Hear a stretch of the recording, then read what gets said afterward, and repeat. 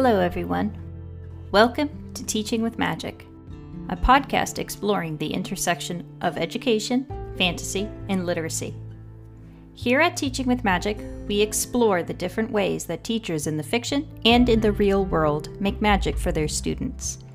You'll hear discussions about teachers and teaching methods in fantasy, science fiction, and pop culture. You'll hear interviews with scholars in various fields about important topics in education and you'll get to be a part of an ongoing conversation about why the imagination matters. Welcome to Teaching with Magic.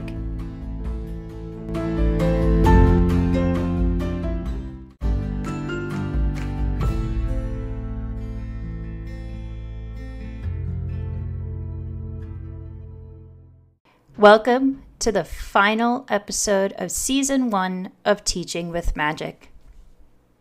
From the bottom of my heart, thank you all so, so much for sticking around, for listening, for subscribing, for everything that you have done to support Teaching with Magic. I'm really excited because this episode is our first full panel discussion. I gathered several friends of the pod and friends of Teaching with Magic to discuss the current state of teaching.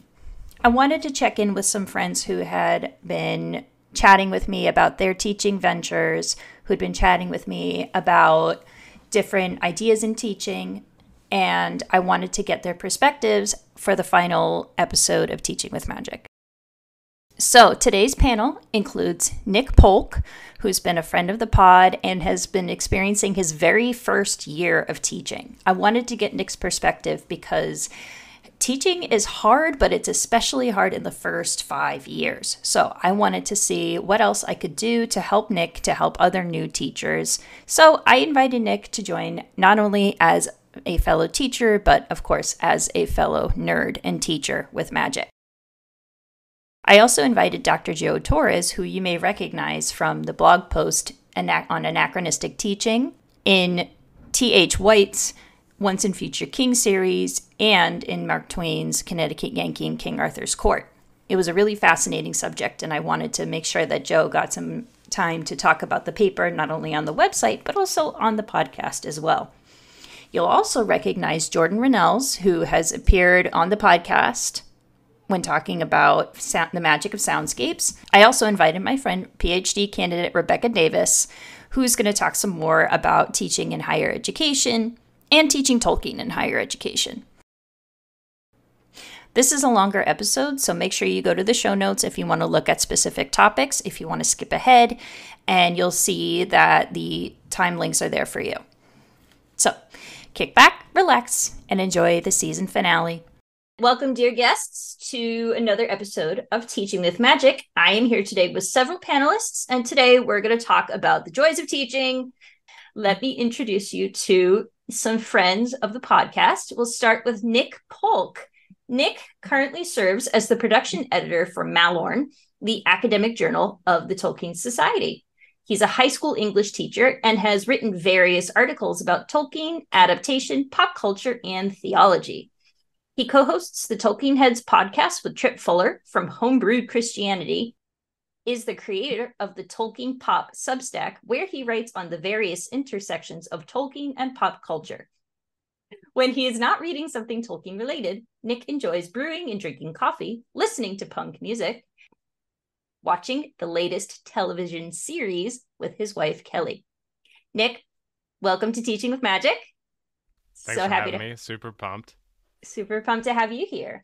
And we also have Dr. Joe Torres. Now, friends, if you haven't heard of Dr. Joe Torres before, he was a guest post writer for the Teaching with Magic blog. So be sure to go over to the Teaching with Magic website so you can read Joe's guest posts. Because Joe Torres is a mathematician and a teacher originally from Louisiana, but now living and working in Michigan. In 2011, he earned his BS in math from the University of Louisiana at Lafayette. After teaching high school math for three years, he returned to school at Texas A&M University, where he earned his PhD in math in 2020.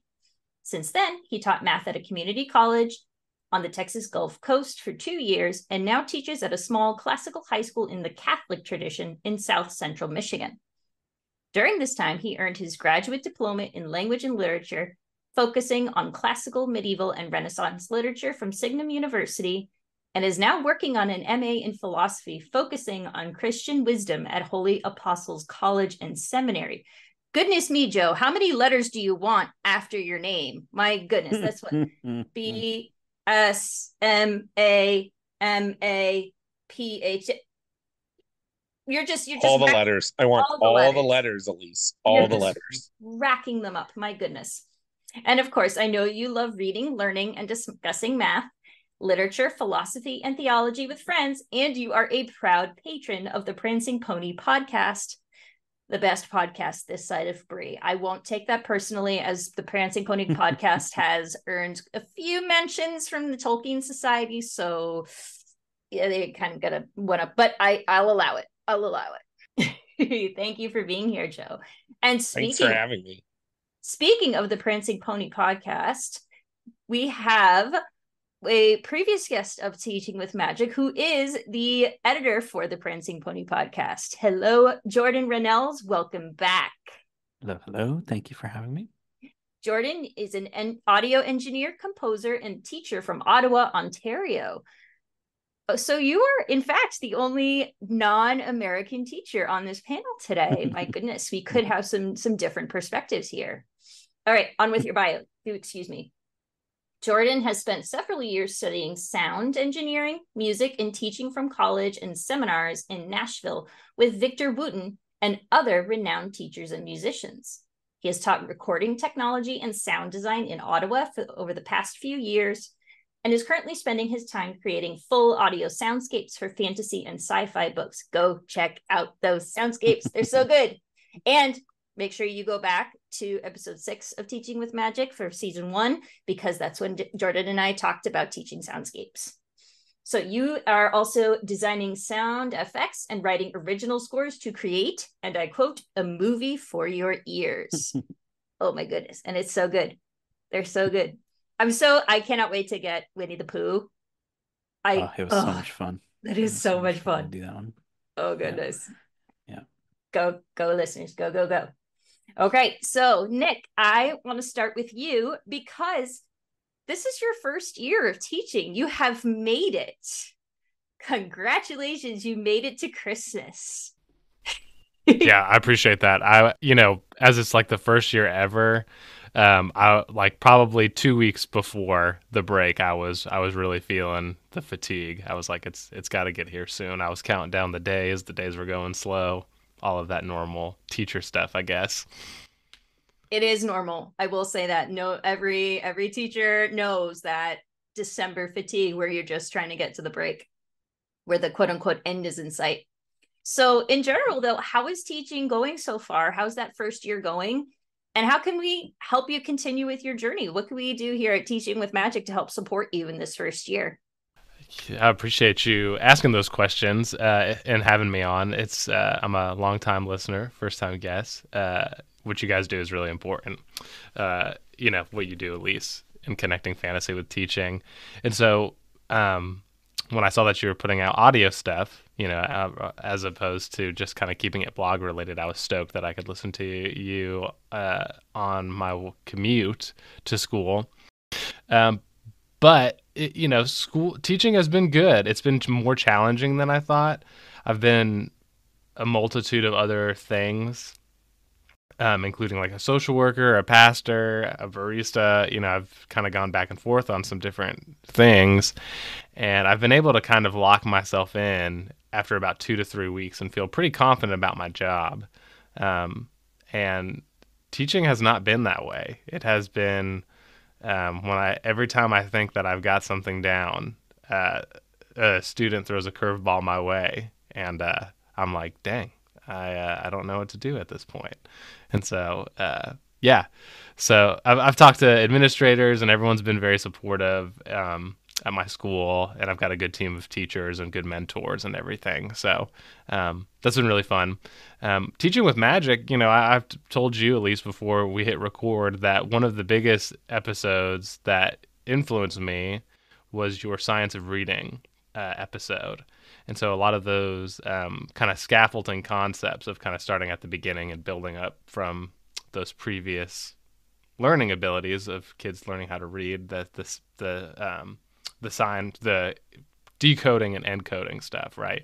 And so learning how to do that on a high school level with like um, more deeper meaning and text um, has been was really really helpful and so just you know keep uh keep putting out the the the episodes like that you know where i can come in and and bring and bring uh bring some cool concepts into my classroom to make me sound smarter than i am i can definitely do that um you know as a reading specialist that is my day job so going back to those foundations and i gotta say like talking to people like uh, dr andy higgins and larry swain was really helpful because those are some of the core beginning concepts. Like Anglo Saxon has most of our language, most of our words in the English language come from Anglo Saxon.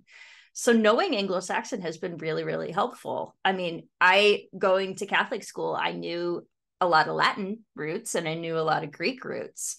Uh, Joe, I'm sure you could speak, you know, as a math and as a as a mathematician, most of your content specific words are Greek or or Latin. So knowing the Anglo-Saxon part of it was really helpful because I realized that a lot of our, our morphology, our, our basic morphology comes from Anglo-Saxon, whereas our more content specific words like our more context specific morphemes come from Latin and Greek.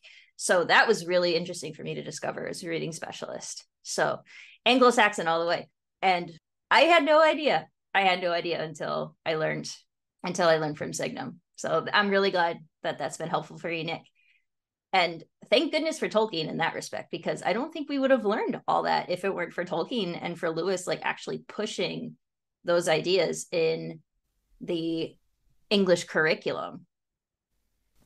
Yeah, it's true. I, you know, just and uh, Tolkien really helped me launch me into being a better student in college because I was absolutely one of those people that was I was in college for a degree, you know what I mean? I thought school was for fools type of a deal.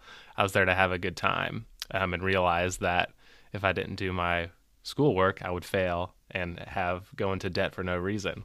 And so someone said, "Why don't you start reading something?" And so I read Tolkien and C.S. Lewis and uh, got involved in the Tolkien Society, and you know, it brought me to this group, the Prancing Pony, Teaching with Magic, etc., etc. So, like you said, Tolkien and Lewis are important not just for reading, but for getting you connected with some professional teachers. Yes, and it's it's fun to learn from from the greats. Really, one of the goals that I have for Teaching with Magic, at least, is to figure out exactly how they taught. Like, I'm going to get in Lewis and Tolkien's heads like see if I could because I'm not 100% sure how Oxford, like I've talked to Gabriel Schenk a couple of times about how Oxford actually works. But if I could somehow find a way to like transport myself to Tolkien's lectures or to his uh, tutorial sessions, that would be so great. So that's that's a that's a teaching with magic goal that I have. See who I can talk to about that. Anyone? Do you guys have any advice, uh, Jordan and Joe, for uh, for Nick? Any advice on how to how to get through the first year of teaching? because the first year is the hardest. I I have one piece that I tend to give first year teachers. The temptation is to try to do everything. Yes. Um, and and uh and spoiler alert, it's actually impossible to do everything. So uh do what you can, but allow yourself to rest is my is my big advice. No, that's helpful, and I definitely broke that rule. Uh, definitely my first month where I was, everybody was kind of leaving, you know, at the times they were supposed to, and I was there 45 minutes to an hour later trying to put together the best lessons of all time. No, leave, leave at your contract hours. Okay, leave unless you have something where you could fill in a timesheet. Leave when your contract hours are over. Otherwise, you will burn yourself out, my friend. Yes, I have remedied my sins. So good. I have the, the, past three months I have been leaving at my good. contracted time. good, good, good. Jordan, how about you? Any advice for Nick? Um, well, I feel like my experience in teaching is maybe in different scenarios, but uh, regardless, um, I think that the thing that helped me the most when I started teaching was just asking myself that um, what do you know for sure question. I ask that to myself about everything. Um, because a lot of the time, especially in music, where with uh, what I teach, it's pretty common for people to, for teachers and for students, but for teachers especially, to spew out terms and and uh, you know the names of things and think that that means you know what they are. Um, so I spent a good deal of time asking myself, you know, what is this topic really and what do I really think about it and writing out notes about it. Because when you watch, and I'm sure we'll talk about this more later, but when you watch some of the people that I would say are some of the best teachers, um, you can tell that they know the thing so thoroughly. And it's not even that they know it so thoroughly, it's that they know what they think of it so thoroughly that they can speak it clearly without notes or anything like that. And uh, so I, for for me, what helped was putting in that time to, you know, choose topics and be like, what do I really think about this? How would I structure it in the best way to get the message across clearly? I had a lot of time after I graduated my recording program. I taught people in the Center for Assisted Learning, and so I had to teach the people who uh, you know, it might take the longest time for them to get the concept under their under their fingers.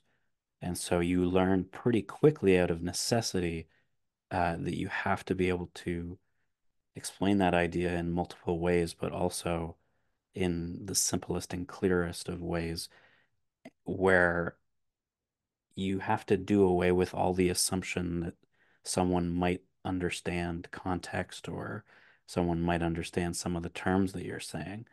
Um, and uh, like I said, that's a huge hurdle for people that teach music, I think. You know, you take for granted that people even know what a note is.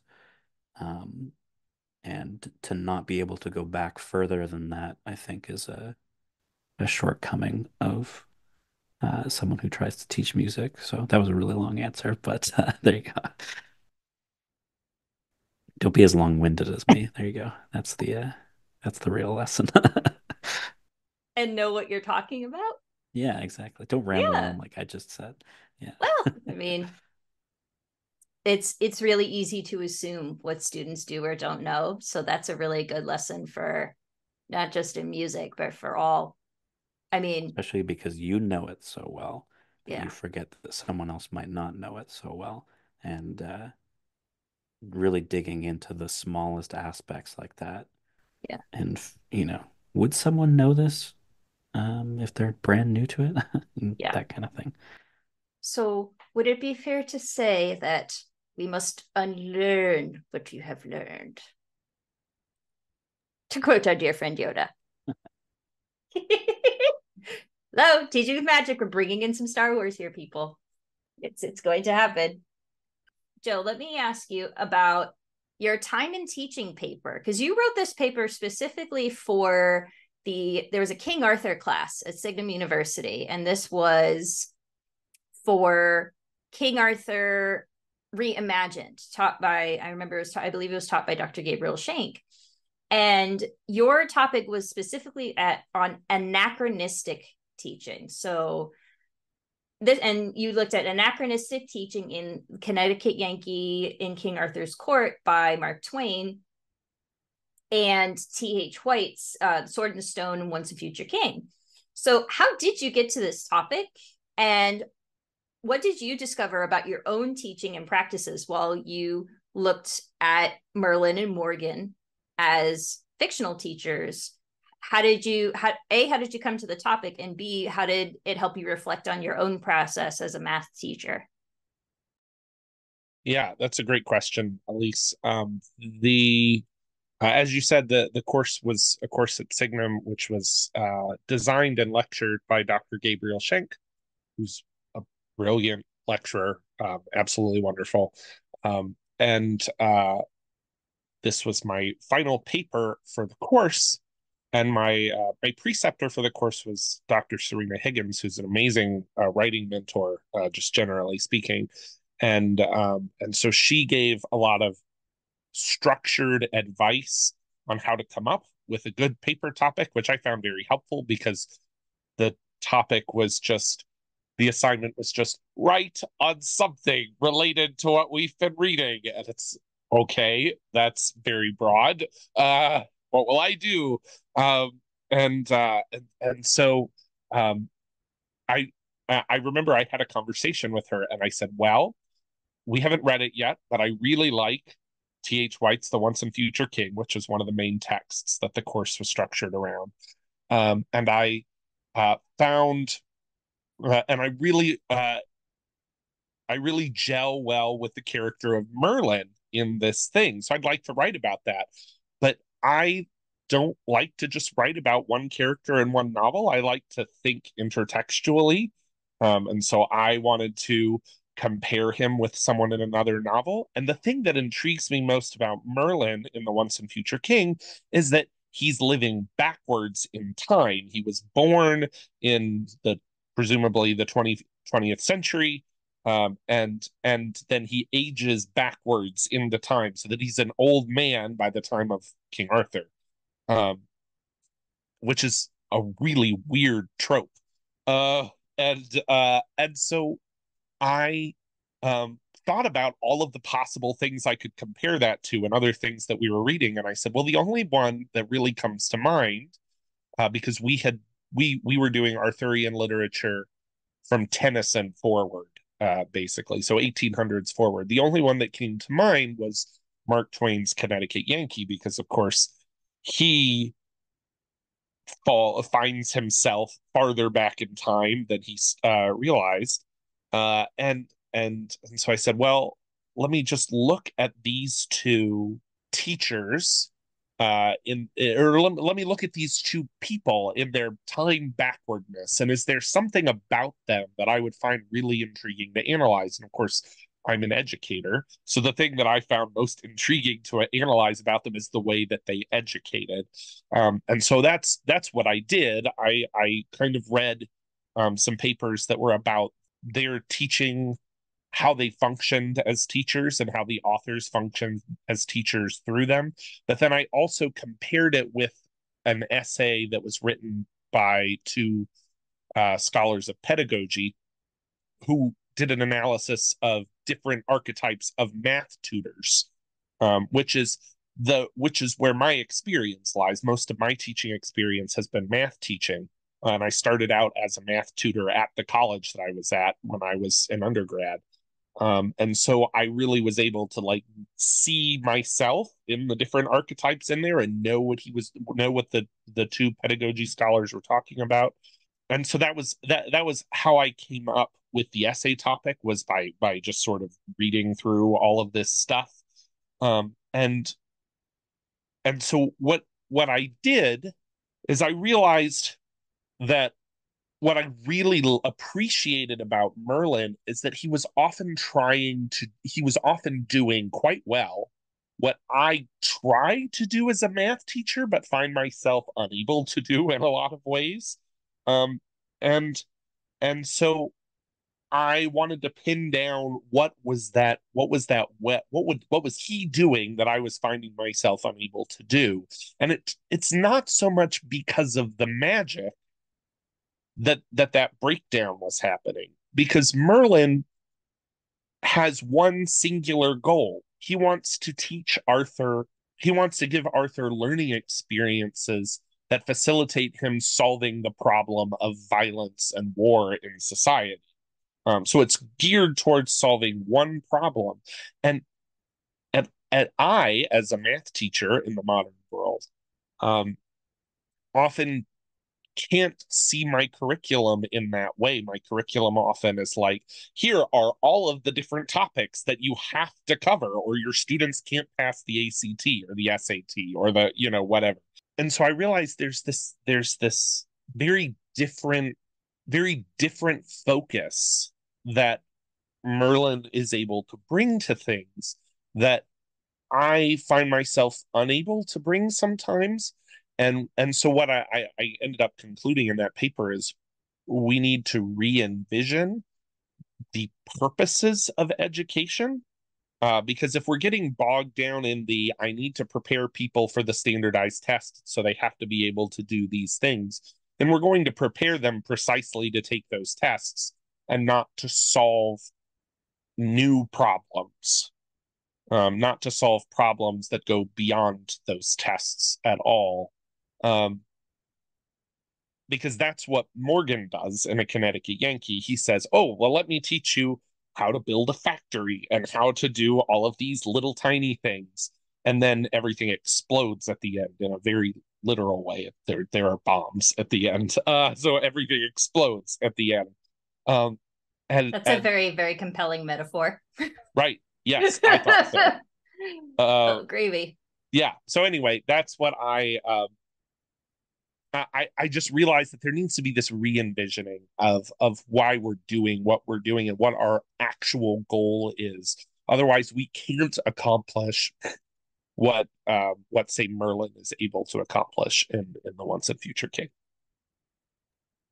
Agreed, wholeheartedly.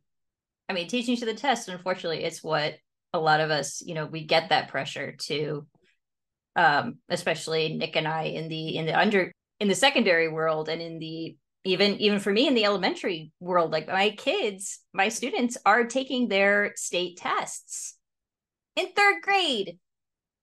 And it drives me nuts. It it it drives me nuts. I'm like just let them be kids please. We don't uh, but yes we do need this re-envisioning. And if we're going to learn math we need to learn math for the beauty of solving problems and learning how to problem solve. You know it's not i could i could memorize my 12 tables all day long but i need to be able to use it. Right. And that memorizing the times tables right has a place. I'm not saying that that's totally. not important but like by the time you get to high school if you're only doing this sort of rote memorization method mm-hmm. you've you've taken a wrong turn somewhere you know right. and and not again we we always need to memorize things right? You you mm-hmm. build on facts so you need some grasp of the facts to build on but but the facts aren't the point they're the foundation. Right. And you have to do something with that foundation. Right exactly. What kinds of problems are you going to solve? Can you apply them to say a music education or to computers or even to digital humanities. I mean look at the work that that james tauber is doing in the digital tolkien project. Now most of what he's talking about is very mathematical computational analysis but it applies to texts and to english and to tolkien's work. So yes. Absolutely. Oh, and what wonderful timing. We are now joined by PhD candidate and friend of the podcast, Rebecca Davis, who, of course, popped in at this moment with a lovely pun. Because she's Becca. What else would she come with? What? Hi, hun. Hello. How are you? I'm doing good, you guys. How's how's it going for everybody? It's good. It's good. Glad to see you made it in the nick of time. I'm sorry. I could not resist sending that. It made me it happy. Was, it was pretty nice. it was pretty nice. So so far we were just we were talking um, we chatted with Nick about his first year of teaching and how it's going and if we have any advice for Nick in his first year. How about I'm, you? I'm I'm, I'm sending you virtual pints and cups of tea and caffeine. I appreciate that. There was lots of uh, there was lots of uh, excessive drinking post uh, post school days, uh, especially towards Christmas. no, like I I remember now my first year actually teaching was in a public high school, and it wasn't the greatest situation um, support wise because I I'm I'm not trying to scare you off. But um, this is kind of a horror story of how bad it can be. Um, they took a first year teacher and gave me the most preps out of anyone in the department. And two of those preps were for high stakes um, populations. So, first year taking the high school English state test and graduating seniors. God. So I I I got to the point where and this this was when I knew it was like I've got I've got to find something else was I was drinking a like I was feeling so sick going to work um like I was having to drink Sprite. Yeah. I, and so that is to say, make sure you've got Sprite on hand, but I definitely hope your situation is a lot better than mine mine was. I definitely have a lot more institutional support. I uh, I teach at an alternative school, so the student behavior is a challenge. Mm. Um, but uh, I have lots of uh, administrative support and a good teaching team. So thankfully, the pressure isn't as high to on state testing at an alternative school. So yeah. But no, if if I could jump in though with kind of piggyback off what Joe was saying though about um, with the issues with state testing and if we just teach towards that that's all they're going to learn. I'm seeing it as a um, as a college instructor i'm seeing the end result of that where if the students that are produced from this teach to the test mentality when they get to college where there is no state test they're freaking out because they don't know how to think cri- um, critically or creatively. They just know, uh, oh well, it, it's what what is the right answer. And if you tell them, well, there is no right answer to something, you you have to be able to support your answer. It, it blows their mind. So we really aren't doing, even not just in math, we're really not doing our students any favors by not teaching them to think outside the box and, you know, let it be like Merlin. Yeah. I mean, there's definitely a place for thinking inside the box. Like mm-hmm. you said, Joe, there's like, there's learning the foundation, but there's also like, you've got to learn the rules in order to break them at times. So, not only learn the rules, you know, learn the grammar. Yeah, be like Merlin is very good advice, Joe. I would agree. Um, but you know, learn the rules, but also learn to break out of those rules. I constantly think back to the Harry Potter series and just there's a really big difference between, say, Professor Umbridge, who's very teach to the test, like we're only going to learn the theory, no practical work. But and then you have on the complete opposite side of the spectrum, Gilderoy Lockhart, who just lets loose pixies in the middle of class and says, Go catch the pixies. And you're like, What? What do I do? So let's find that balance. Let's find our Remus Lupin. Let's find, you know, that, ex- you know, working with the tools that you have and learning the tools and then being creative with those tools. May- and maybe don't pull a uh, Mad Eye Moody, um, Moody and, you know, ah, I'm just gonna throw you out with the yeah. Maybe maybe don't maybe don't curse your students. Yeah. With magic I'm, or with language. I'm I'm just saying though, Malfoy had it coming. He was a great ferret. He was a wonderful ferret. he was. So let's talk about our favorite teachers in pop culture. I'll Jordan, I have a strange suspicion that I know who you're going to say, but I'll let you start anyway because we started with Nick, we started with Joe. So, in popular culture, who would you say are your favorite, te- some of your favorite teachers, and what qualities do they have that you admire? I have three. You have three. Um, I love um, it. I could choose more than that if I wanted to go into uh, fantasy realm teachers or things like that. Um, Qui Gon. But uh, if I were to choose my three, it would be Richard Feynman as number one for sure. Um, and it would be Victor Wooten as number two, probably. Um, and number three would be Josh Waitzkin. Um, so Feynman for his, uh, as I was kind of speaking to earlier, his clarity of knowledge and the simplicity that he can deliver it with. Um, and the lesson that I learned from him that was like the most critical, I think, was the short little video you can find where he talks about uh, the names of birds and and his interaction with his dad about it. I believe it was.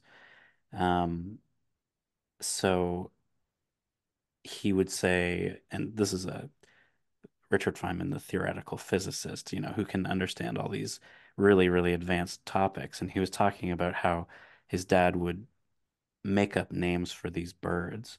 And uh, the lesson was that the name of the thing doesn't matter if you don't know what the thing itself is. Uh, and if you can't, you know, describe it in in a way that's not just its name. And like I was saying earlier, that's a huge thing with music theory, um, especially people teaching the names of things and not really even knowing themselves what they what they mean. Um, and that kind of leads into Victor Wooten, who mm-hmm. uh, always teaches with uh, what's called coyote teaching. That's his kind of technique that he goes to, which is basically, in a nutshell, to just answer questions with questions. Um, because the student, a lot of the time, knows more than they think they know. And I've never seen someone as good as Victor uh, at getting the student to explain what they're asking um, to the teacher. So mm-hmm. uh, getting that knowledge out of them and just tell kind of showing them that they know more than they think they do and that there's more to asking a question than what we were talking about earlier, which is just getting the answer, getting the immediate answer to pass the test. Yeah. Um, and then Josh Waitzkin is a chess player. He was a chess player. Um, he wrote a really, really amazing book called um, The Art of Learning. And I would recommend it to anyone uh, who is teaching or is interested in, in, in improving themselves in any way. Um, but he talks about a concept called making smaller circles. And that's uh, something that I've thought a lot about um, which is just zooming in, you know, as minutely as you can on a concept, um, and seeing how thoroughly you can know just that one thing, um, and then building from there, right? Yeah. Uh, so yeah, those would be my three. Before I, I start it. rambling on. no, but that's fantastic that feels like a very very wizard of earth earthsea concept it's you can know a name of the thing but as soon as you know the name of it you need to know everything about it all the characteristics in that name in order to enact that magic so is richard feynman a wizard of roke i don't know people what do we think no just an awesome bongo player all right just an awesome bongo player okay Nick, how about you? Who are some of your favorites? Yeah, I decided to limit mine to two, similarly to Jordan, because I think all of us here probably could have real life and fantasy teachers uh, and just go on and on. But so I'm gonna I'm gonna bring mine just and limit it to the fantasy area. I just have two, and number one's uh, got to be Gandalf, my guy. Uh, he is like the the coach who uh, tells you to do stuff that you're not you feel like you're not ready for. Um, you know he, he speaks into you. He tells you that you're smarter than you are right? He, he shows up to bilbo's house and he's like yeah you're a burglar. And he's like no i'm not. I'm a you know and even the doors are like no gandalf's like yeah you are uh, and he's he's super cryptic. He's like that cryptic professor that plants those little those seeds in your head, and they'll say stuff, and you're like, "What does that even mean, Gandalf? What do you mean uh, that the wisest don't know the even the wise don't know the end, you know. And then you're like, oh, okay. You, take you go for the ride, and you're like, I, I know what you're you're talking about now, Gandalf. Um, and you've been uh, both simultaneously telling me how much of a fool I've been for not seeing it, but also, uh, you know, applauding me when I do come in sync with your, uh, you know, esoteric uh, pedagogy or whatever. So Gandalf is is this weird guy who comes in and uh, he encourages people to be better than they think they are, um, and plants the seeds so that later, uh, you know, you come back and reflect and you you're like, dang, Gandalf's got the the wisdom there. Uh, and my second one would be Katara from Avatar: The Last Airbender. Love Katara. Um, you know, specifically when she's older and she in the Legend of Korra, where she's like teaching, she's like the super healer, right? And she's, uh, you know, because she's she's more combat oriented, and in the the first Avatar: The Last Airbender series. So I would want to learn probably from like I think I would probably want to learn from like probably like a 30, 35, 40 year old Katara, you know, where she's still able to, you know, kick some ass, right? Still doing that, teaching that, and then also at the same time able to bring in some of those healing skills. I feel like Katara is very patient when it comes to teaching, you know, and very impatient for people who don't have uh, the right uh, what's her intentions. You know that's where she's impatient which is is good. She's a she's a morally upright character. And so bringing that element where she brings the morally uprightedness um, and i think she would be a good teacher for lots of various aspects um, would bring patience as also the the fire as well. Yeah. Katara is great. I love Katara she's the best dude. She's the best. Yeah. I definitely want to do um Iroh. I want to. I want to do Uncle. I want to do an analysis of Uncle Iroh one day. Please do that. But I should Please do an do analysis. that. I will. I know, but I should do an analysis of Katara. So then you'll be able to say I wrote. Slam dunk. Slam dunk from Rebecca Davis. Mm-hmm. There it is. Oh, Jordan. she said sorry, Jordan's but she's used to not. this. She's Yeah, not sorry. no. Hashtag sorry, not sorry. sorry, not sorry, Jordan. Well, no, no. Part like the reason Jordan's not like he's recognizing why he has so many edits on the live recordings. it's all because of you. You stoked the fire. Those are always such a fun time. Oh, oh my god. You can always tell when Alan and the whoever's co-hosting have looked at the Discord. And they're just like, oh damn it, what did Becca do now?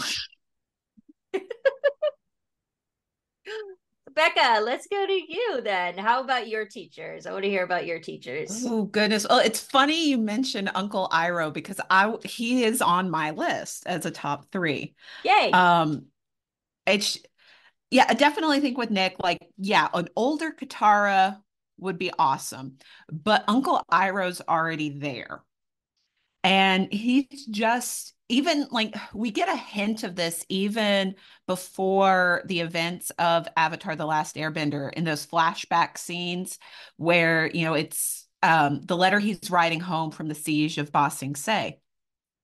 He still has a res- he like the letter shows a respect for his enemy that you do not see shared by any of the rest of the Fire Nation, really, the, the key players.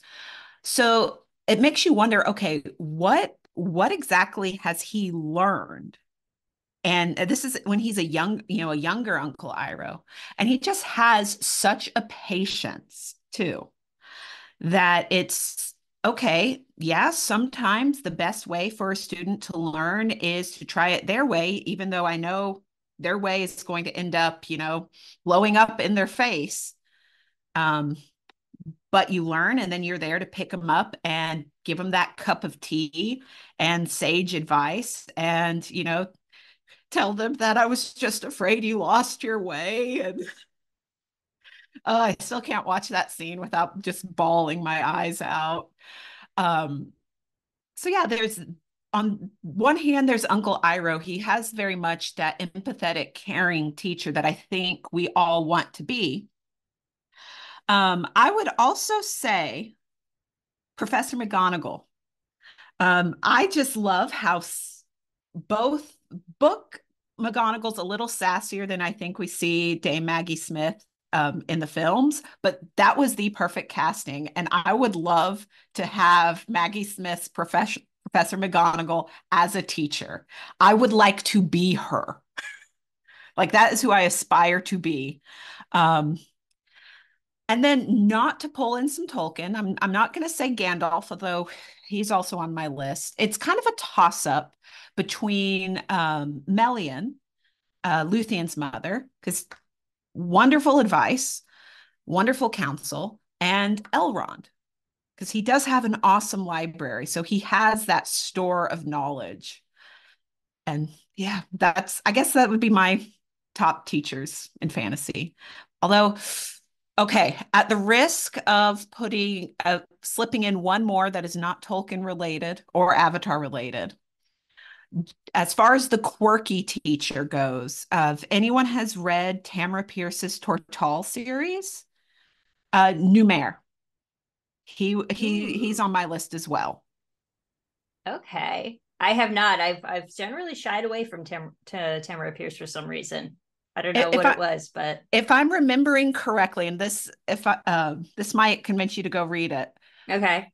She based him partly on Jeff Goldblum. so imagine like a European accented, you know, vaguely British accented Jeff Goldblum. I love it. So That'll yeah. Do That'll do it for sure. Okay, I'll give it a try. Absolutely. I think it's really interesting though that you mentioned Melian and I mean, I know we've talked about Elrond before when I interviewed you back in uh, back in the beginning of the series, but I wasn't. It's funny because there's the person who gives sage advice, and there's the person who are who is knowledgeable in their craft. But does that make them good teachers? Like, I want to say yes, personally. But what do you guys think? I want to trouble like I want to trouble Melian a little bit just because no one unfortunately really listens to her advice. And is that because of I mean, we all know Thingol is just he's Thingol and he's got like pride out the wazoo. Uh, Melian, listen to Mama Melian. Um, you got to listen to Mama Melian because she knows what she's talking about, but for some reason they don't. They don't take nobody takes her advice except maybe Luthien.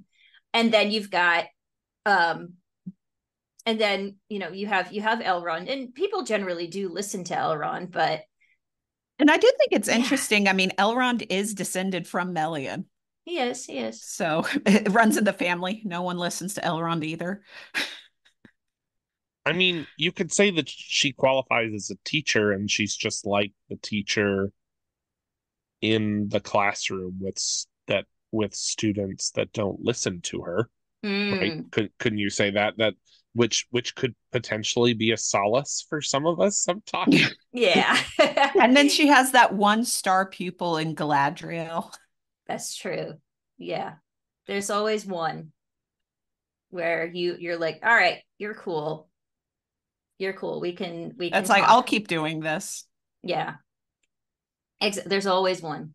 But yeah, I think I do think Thingol just needs to get his I probably shouldn't say this in a recording, but he needs to get his head out of his ass half the time. But no doubt, no doubt. Okay. Our boy Thingol did not deserve Melian, no doubt. Oh, no, no, he did not. Oh goodness. All right, Joe, let's go to you. How about your teachers? Who are um who are you? All right. Teachers? Well, I have three as well. I'm going to go in reverse order. Since I'm last, I'm going to save my best for last. Uh, so, so, uh, number three, um, I have Socrates, who is a, a is a pop culture teacher. Um, I have been I've been teaching actually one of our sophomore well one of our philosophy classes at the school this year. We've been reading a lot of Plato, um, so I've been dealing with Socrates on a very uh, personal level this uh, this semester uh, and uh, and Socrates is like very annoying as a teacher I can see, but also like the way that he gets the person to know by just constantly questioning them is amazing, which is something that Jordan was talking about with one of his earlier. And I just really love that. And I definitely try to be that when I teach. I try to get my students to come up with the answer by questioning them. Um, and uh, I mean, Socrates is clearly the master of this. Um, so he's he's my number three. Uh, number two, um, I I'm going to reiterate one that Becca said. Professor McGonagall is uh, is is one of my uh, one of my very, I mean, just amazing teachers uh, for inspiration, and I uh, I I guess I want to say for maybe a different reason than what Becca said. Uh, for, to me, um, clearly she's she has high standards. She wants her students to really meet high standards, but she's also because of those high standards, um, the students kind of see her as a rock um, that that they can that they can trust that she because she doesn't budge on those standards they also know that she's that she's a that she's a rock that they can trust um to be there for her. And you see that right when like for instance at the end of order of the phoenix when she runs out of the castle during the owl exam and the stunners fire fire four stunners into her chest right? And she and and the students are just shocked that McGonagall's not there anymore the next day that how how could she be gone? Like what what what is a what is this school without McGonagall right um and and it's just you know like McGonagall being a rock for the students is is very inspirational for me as a teacher and being kind of growing into that by being by setting high standards but still relating on a personal level with your students um, seems seems really important. Um, and then my my final one because the, the question was phrased as in pop culture. And so obviously not a fantasy teacher but but uh, uh, definitely one of the most inspirational teachers for me personally would be george feeney from boy meets world in the 90s uh, because mr feeney was just awesome uh, and so inspirational for me personally. I, I was telling talking to this with one of my friends recently and i said yeah as as an adult looking back some of the stuff that that show teaches you about romance and stuff i don't know about that but the the things that that it teaches you about teaching through mr feeney is just awesome right? Mr feeney has respect for his students um from the very beginning calls them mr matthews miss lawrence you know uh, but but then so there's respect but there's also like here's the standard you have to meet it um, there's, I mean, there's a real love for his students that shines through, um, while also not like not crossing that boundary of I am the teacher, I'm not your friend, um, which sometimes is a weird boundary to navigate. Um, I just, I just think Mr. Feeney's the best. So, and not discount Mr. Feeney. I mean, Mr. Feeney raised all of us 90s kids. Let's be honest. He he was our teacher. And I almost did the Mr. Feeney call before I remembered that my toddler is sleeping in the next room. So that's just you know, I know. Uh, yeah. Oh goodness, yeah. And plus, my Smoglet microphone has no bedtime. Smoglet needs no bedtime. Oh yes, he does. I beg to differ, Rebecca Davis, as his mother who has to deal with him in the morning when he does not meet that bedtime. So he may think otherwise. I'm just sorry. I'm just imagining Smoglet dressed up as like a toddler Boromir telling Denethor Finduilas that. Yeah. Boromir need no bedtime. Oh my goodness. But yeah, I love those answers. I I do have to say I'm really surprised that of the people that I've asked in this series so far, um in this season nobody has said professor x it it crossed my mind the other day you know we've had gandalf we've had qui-gon we've had mcgonagall but nobody said professor x and i thought hmm school story yes but hmm i don't know it just hit me today I wonder if part of that with X, and I'm not, I'm not a huge. I mean, I know the X Men. I seen the movies, have not read the comics or anything. I wonder if part of that has to be though that Xavier seems to, at least in the films, just seems to be training them to do one thing. It's like you're mm. going to end up being an X Man, right? And not. It's like, well, uh, gee, Professor, what if I don't necessarily want to be a superhero? I just want to learn how to control my powers so I don't hurt anyone. Yeah, like, no, fair. you you serve at the pleasure of the professor now. Hmm. Especially in the comics, is in the comics especially. There's, I think that the professor is a lot more of a kind of dubious character. Hmm. In in like, is this for the students or is this for you and your dream? Um, and you know, I could you could come up with you could do a really interesting episode of like the teachings of Professor X versus Magneto. Yeah. Because um, that would be very interesting. But yeah, Professor X's motives are pretty questionable a lot of the time. Yeah, and I've never gotten the sense that he's a particularly good teacher either. Mm. Uh, I mean, like, again, I'm not familiar with uh, like Becca. I'm not very. I'm not familiar with the comics as much. I saw the movies that came out when I was a teenager.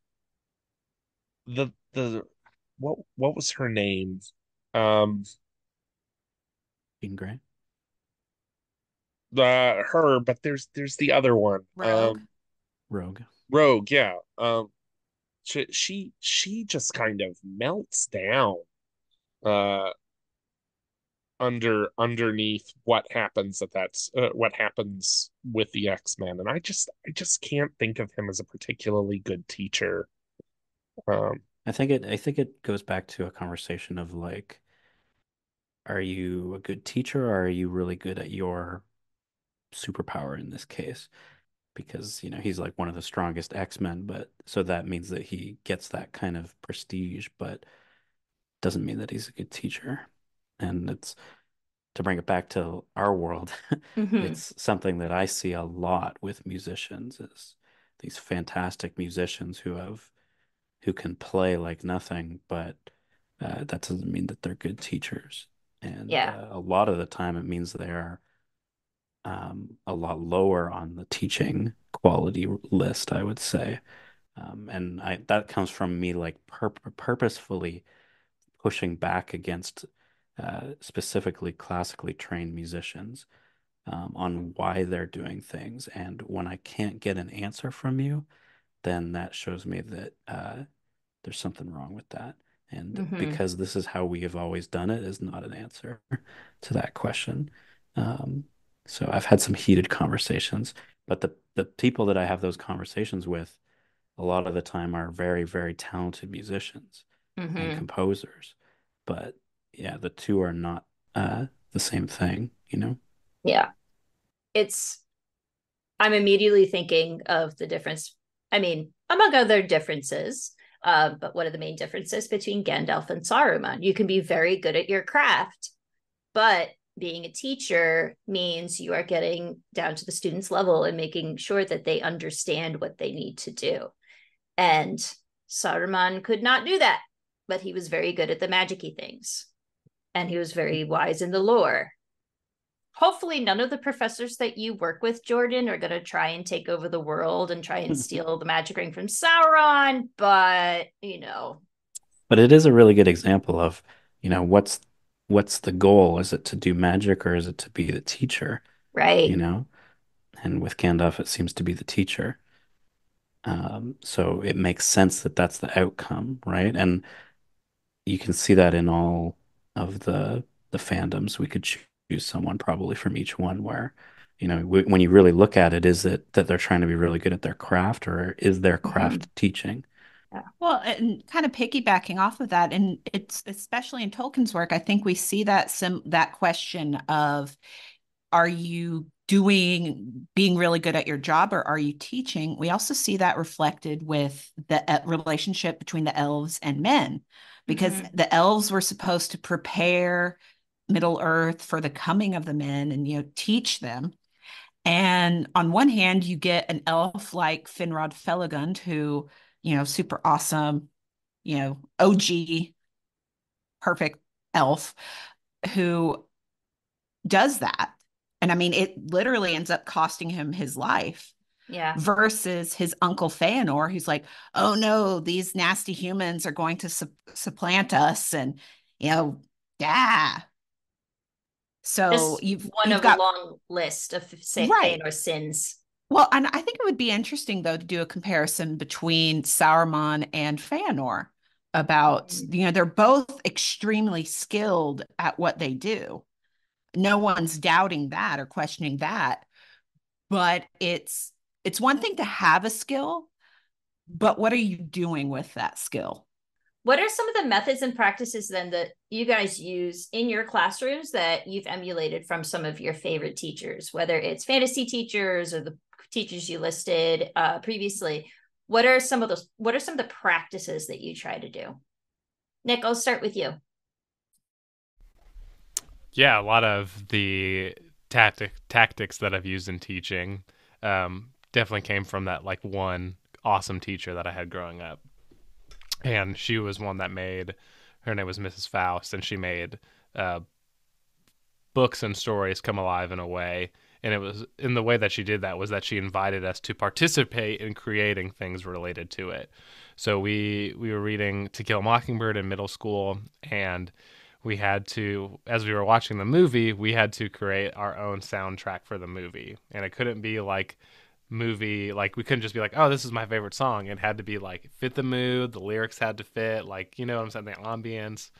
And so i had to find the mp3s burn my burn them on a cd and uh, we would bring our burnt cds in put them on the little boom box have the tv muted and uh, um, and play our soundtracks and so she she did all kinds of things like that.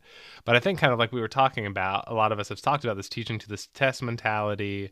Um, you know memorizing things is important to help us build so that kids can kind of riff and interpret because you can't you can't learn to interpret text if you if you don't know your abcs um, and so um, i tried to so we did um, The Tempest and The Lord of the Flies. So I try to keep it fantasy island type of one kind of part of the unit there um, this year.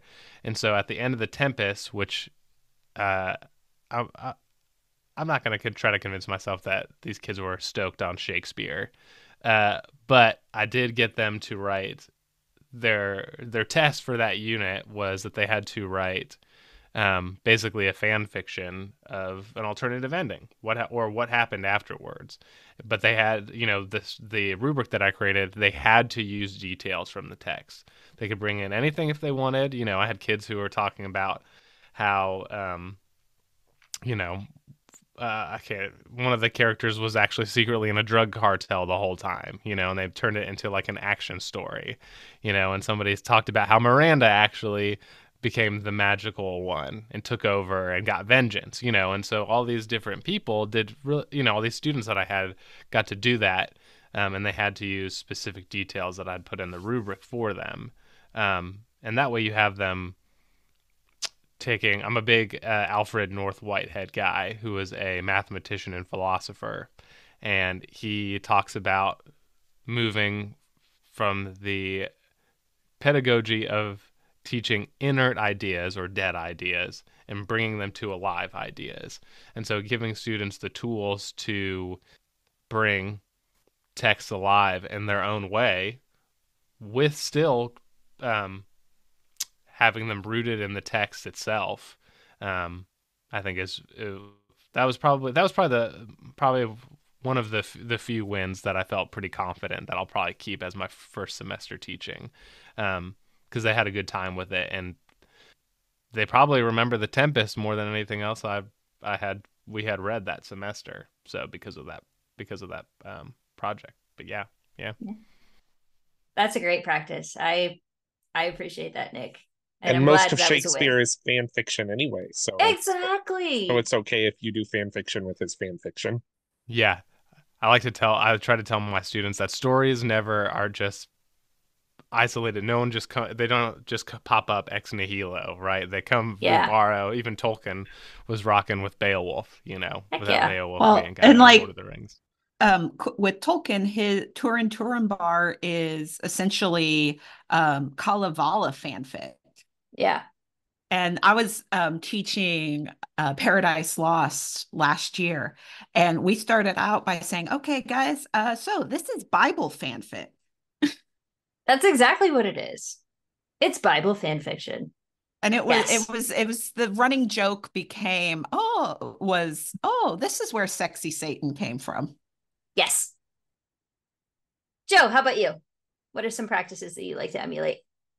Um, well, I, I I'll say one that I tried that did not work first, and then I will okay. uh, talk maybe more generally. Uh, so as I said, Mr. Feeney, big favorite, uh, and I did try to call all of my students Mr. and Miss last name, uh, insert last name here. And they all thought it was the weirdest thing ever. And eventually I just said, you know what? I'm giving up on this. This isn't worth it because you guys yeah. are so on edge when I do this. So I had to give that up it made me so sad to give it up, but I had to give it up. Um, but the um, the I do know schools where they where everyone does that, and I feel like that would be less on edge for the student if everyone did that. But I was the only one doing it, so that that just wasn't going to work. Uh, but the uh, oh well, what can you do?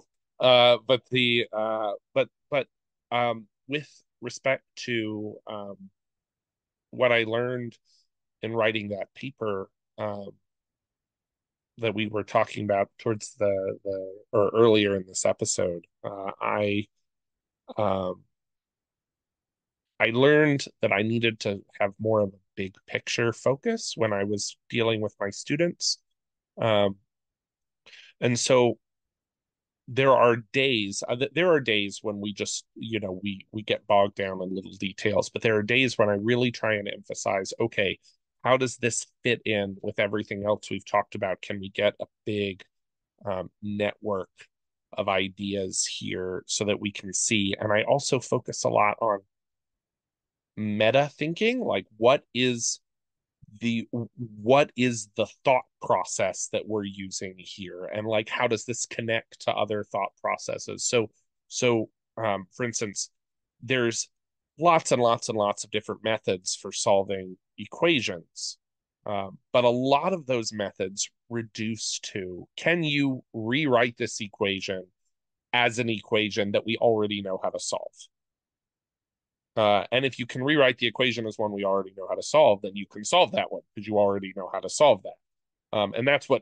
pretty much all of the methods you learn after, let's say, this let's say from the second half of algebra one on pretty much every equation you learn how to solve is well let me just rewrite this as an equation i know how to solve um, and so uh, i feel like the this showing them that there are these sort of more big picture methods that we use um, teaches them not just how do I do this math, but how do I actually think about these issues more generally.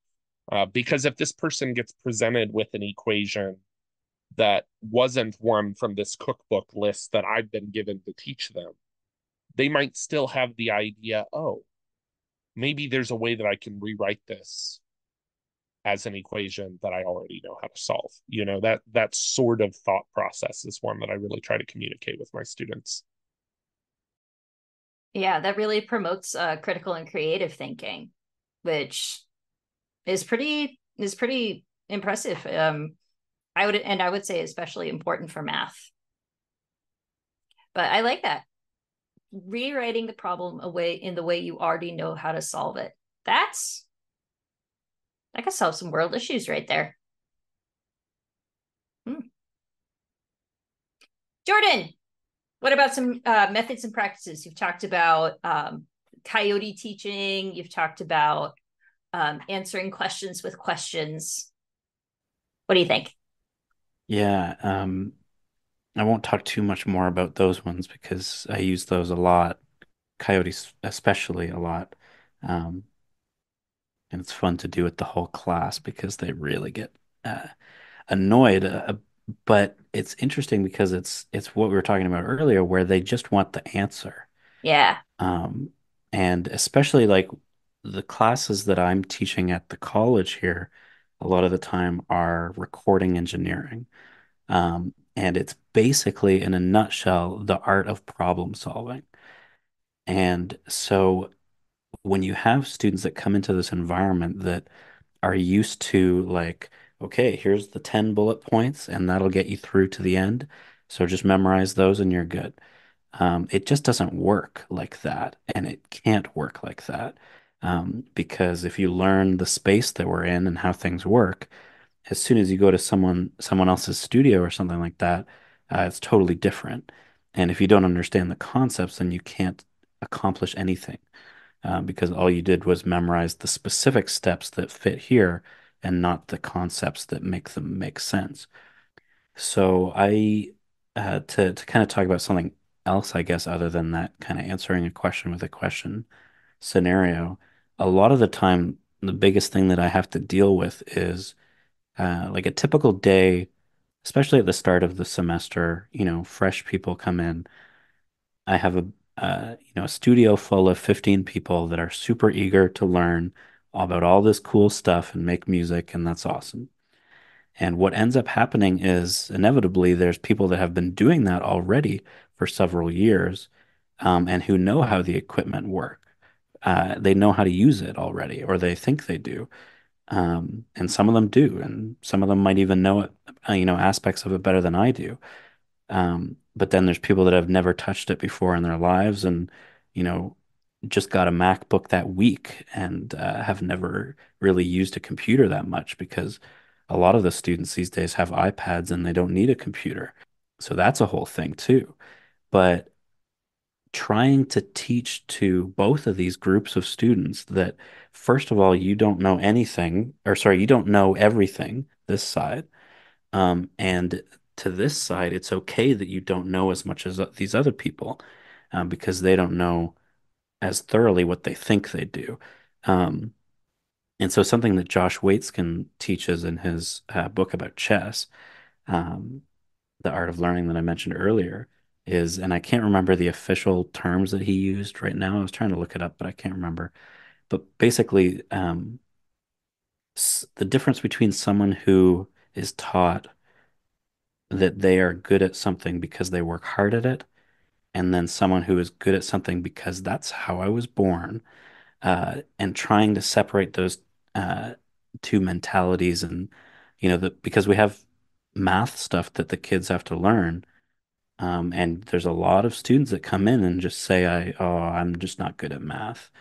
And um it's really hard to teach those people that uh, you were just you know I always try to tell people that there is no reason that any there's no reason other than time that someone shouldn't get 100% on a math question and there's a lot of students that have been taught that they're either just not good at it or it's just not for me kind of thing. And so they've taken that and they've applied that that thing that they've been taught to all of these uh, things that I'm trying to break down, you know. Um, yeah, a lot of fixed mindsets of of you know, I'm good at this, I'm bad at this, I'm just not a good singer, I'm just not a good I just don't know. I just was never good at music theory. Um, and trying to be like, well, that's kind of why you're here though. You're here to learn from the beginning and and just because there's people that have been doing it for five years and are basically, you know, masters at that one thing doesn't mean that you're going to be left behind anymore, you know?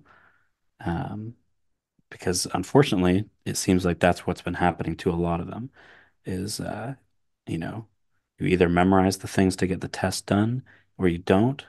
And if you don't, then you get left behind and then the concepts pile on and there's no hope to catch up at that point. So yeah, trying to level the playing field is an interesting challenge for me. Um, and show everybody that that they can they can all learn things and it's it's usually like to be really specific and then I'll stop talking. Um, I usually try and find one concept that everybody knows nothing about. Or I get a student that really thinks they know something to try and explain it, and I'll ask the questions about it and uh, get really, really minute and really, really annoying about it. And it usually shuts the whole class down to a point where we can restart and be like, okay, now that we uh, get what I mean by knowing something, let's start from the beginning again. And uh, and then I get them to teach uh, teach each other instead, and I sit back and watch a lot of the time. So uh, that's super interesting. I'll bet that's probably your favorite part of the job because you get to get oh, back definitely. for a minute. I get uh, that's the most fun because I like to. I always think that teaching is the best way to learn how to understand something. Um, Absolutely because that's what shows mastery when you can right. teach somebody else how to do it if you right. can teach somebody else how to solve this math problem or write this sentence in its correct grammatical format i say with air quotes because grammar is always changing then you've shown that mastery when you can explain it to someone else right and but it's yeah. a it's a it's a better learning experience for my kind of scenario to let somebody try and explain it and like guide their explanation and then I'll say, okay, let's start from the beginning and explain it better. You know, I know you can explain it clearer than that. Um, and uh, they get annoyed sometimes, but it's worth Oh, it in the end. Absolutely. yeah. I will definitely say as soon as you encounter something that you know nothing about, it really gets you thinking about what kind of learner you are and you know what you need to do in order to learn that new concept because I remember when I took Anglo-Saxon at Signum University, I was my head hurt because it was it was hard. It was really hard. And I thought to myself, dear God, is this what it's like for my students when they don't know how to read? Or is this what it's like for my students when I'm telling I think them knowing you know, that makes the difference between someone who can teach and someone who can't is, you know, exactly. there's so many assumptions that you can make. of course. And of course. you've already lost someone two minutes into your talk um, because you assumed that they know the terms that you're using. mm-hmm. Exactly right. Mhm. becca you haven't shared your methods yet. How about you? So this is gonna this is going to be kind of interesting yeah because I'm gonna start with methods I like to use that this l- latest semester I haven't found to be successful. Um, and I'm I'm really big on discussion. I love the Socratic method in my classes. I like students being able to answer it for themselves. I like just being able to talk about the concepts we're learning about in class. But one thing I've encountered more this most recent semester than I have in previous semesters is what do you do when you have a class who, for one reason or another, simply will not discuss? Either they don't have the they don't come to you with the skills they should already have in place to have those kind of discussions and to reach those higher level thinking skills or they just don't want to talk or they didn't do the reading or anything like that or some combination and you might get one or two students in each class who will talk um, but it's not fair to put it the entire conversation on their shoulders. So I love discussions, but this last semester, I haven't really been able to use them because I've run into that problem. And what I've started incorporating was when I realized a lot of this is coming out of students post COVID school where it was a very isolated experience. They're not used to dialogue, live dialogue. Is all right, let's break it down. We're going to put you guys in groups. Yes, you guys are going to have to talk to each other. And yes, you are going to have to talk with, well, I'm nice. I start off, they get, they usually cluster with other people they know. So I start off, they all get to, you know, be in the group with their friends. No more than four people per group. Okay. Because once you get past four, it's, you usually get one person or two people who are domineering the whole conversation. The second time, though, that's when we break it up, and you guys are going to be in completely different groups. So, yes, you are going to have to talk to people you don't know. You will have to learn the other names of your classmates. And they all have this, everyone has the same discussion questions and each group has to discuss them that among themselves. The downside for me is I don't get to interact with it as much. But if the whole point is I want them to get used to exchanging their ideas and to get out of this mindset of, well, th- there's only one answer and that's the right answer. I want them to be able to support their answers, support their viewpoints. Because the the bread and butter of what I teach is composition, which along with math is, you know, everyone's favorite subject to take. So I've essentially got to have people go from this, oh, I'm terrible at English, I'm terrible at writing, to, you know, I don't necessarily like it, but I know I can do it and I know I can do it effectively. And that's to me one one thing I'm trying to work more into is okay, let's take some low stakes um, activities. You know, I started um, started my classes this last semester off with they have a 10 minute writing prompt at the beginning of class, and it's usually connected in some way to a concept we're learning about. Um, and I don't I don't hard grade those prompts. They're mainly just, did you do them? Okay, great. I'm not grading for grammar. I just want you to practice getting your ideas on paper. Pulling in um, the pop culture teacher, though, like practices they do, the low stakes environment, I see that as being I want to maintain my standards like Professor McGonagall, but you also have to meet the student where they're at. Um, we can't blame, we can't, I don't think we can really blame the unpreparedness of students entirely on them. I think it's a larger social issue as where, you know, um, modern Western society see how they see the role of education. Um, I also think, you know, it doesn't help to have a global pandemic mess things up. So I've got to meet them where they're at. But then I also want to pull in a little bit of Iroh. And I mean, I legitimately, I do have an electric kettle and tea in my classroom um, and my office. Um, I've had students take me up on that and have that cup of tea. And that's when I've noticed we do get those dialogues that I enjoy as an instructor. And they start to get over this whole idea of oh this teacher is out to get me because i'm in college and that's what i was told is all my college professors will be out to get me and you know they're secretly plotting ways to make you fail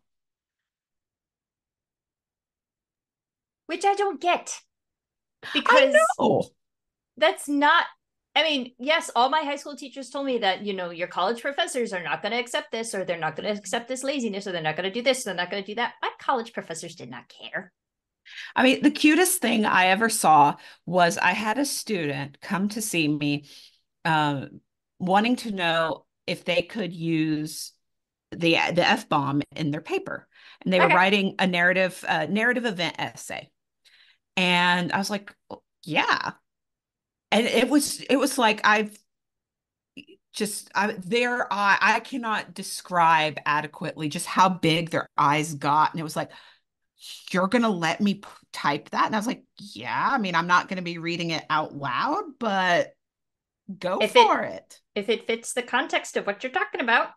And I mean, even in my, like, in, I could, I didn't pull this with my comp classes, um, but in my literature classes, I've told them, look, I will not allow modern profanity in class. But if you were to go back and find some old English profanity or, you know, ma- uh, we were we were doing the Epic of Gilgamesh, maybe some Babylonian cuss words, it's fair game. Yes. Cuz it has to do with the content. Exactly. We we had someone one of my students figured out how to cuss in Elvish. That's beautiful. It, it was. And I was thinking, I'm not sure the professor would approve, but this is too funny. The professor would improve would approve the effort. Yes. Maybe not the cursing itself, but perhaps the effort that they took to it, translate. And it was it was really yeah. more of an insult too. Um like something like you stink like an orc's butt. I love it. That's brilliant. I yeah, I think I think Tolkien would have been impressed personally. Lewis might have been like, oh, the horror, but I don't know. I mean, it, I guess it depends who came up with the idea to dress as polar bears for a non-costume party. This is true. Good lord. they see this is this is why I want to figure out what he was like as a Don. Like, oh my gosh was he the cool professor who just, he was the cool professor who just showed up in a polar bear suit. Well i did read one story. He brought like these tiny little shoes uh, uh, tolkien did brought these tiny little shoes to one class and like was legitimately trying to convince the students that these were elf shoes or fairy shoes. But he hated the diminutive fairy elves Uh, and well, okay. And my other favorite story, um, any Howl's Moving Castle fans? Yes. Okay, so Diane Wynne Jones, and I'm so excited. I will hopefully be teaching that book this semester.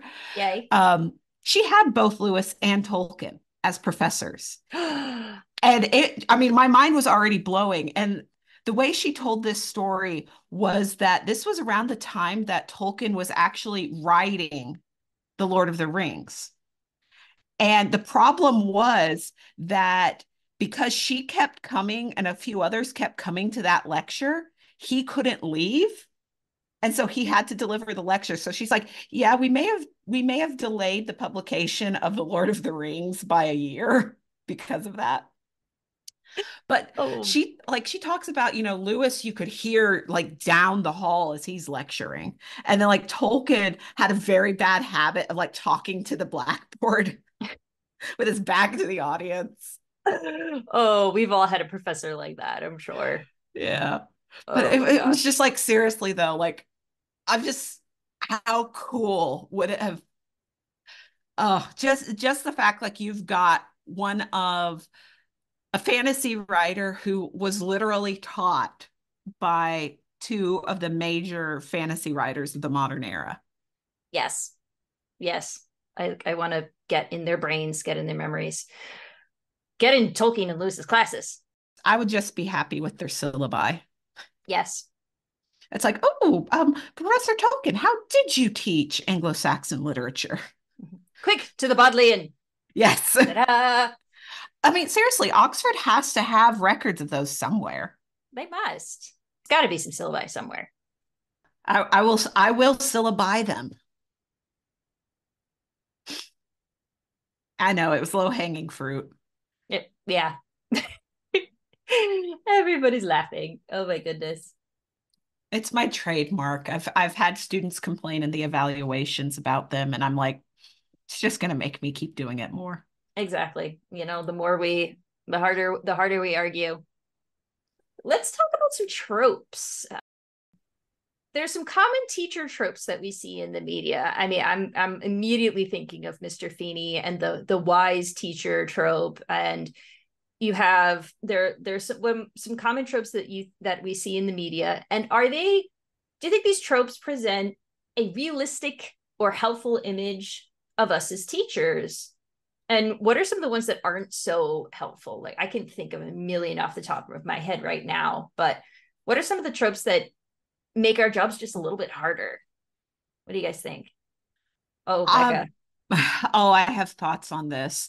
Um, so th- this is primarily because I'm I'm teaching post secondary school. And either side of the media, less so one than the other, are presenting college professors as we are out to indoctrinate and brainwash and it's our way or the highway.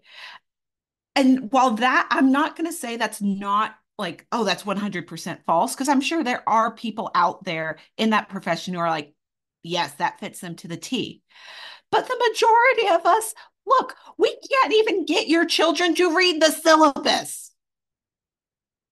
Like if if I had those powers that you you give to me. Do you not think I would use them to get your if, child to do their homework?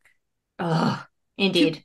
To, to capitalize their name, to spell check their essays. Bless. Oh, sorry, sorry. That that that's a. Oh. It's it's a sore spot, I'm sure. It's a very sore spot.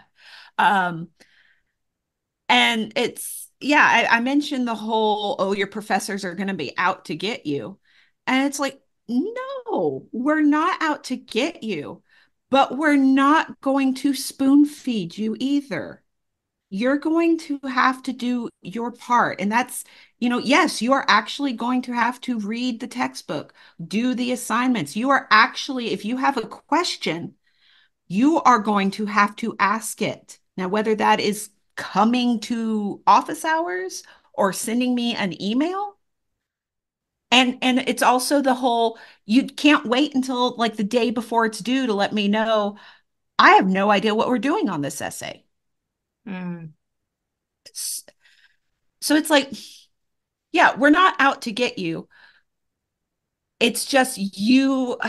I don't know, and I think it's part partly because society has gotten students so used to the spoon feeding and teaching them to the test and you can turn things in until the very last minute and it's not teaching the initiative that you you do need some initiative to learn that i don't understand this hmm how could i figure it out instead of just i don't understand this i guess i just won't know and so, it can yeah. be hard to to teach that initiative because it is a learned skill It you is. Know, it's not and, it's nice and, and, it's to what um, jordan was speaking to earlier we have this fixed mindset of either i know it or i don't so I don't want to look stupid if I am going to ask the mm-hmm. question. Mm-hmm.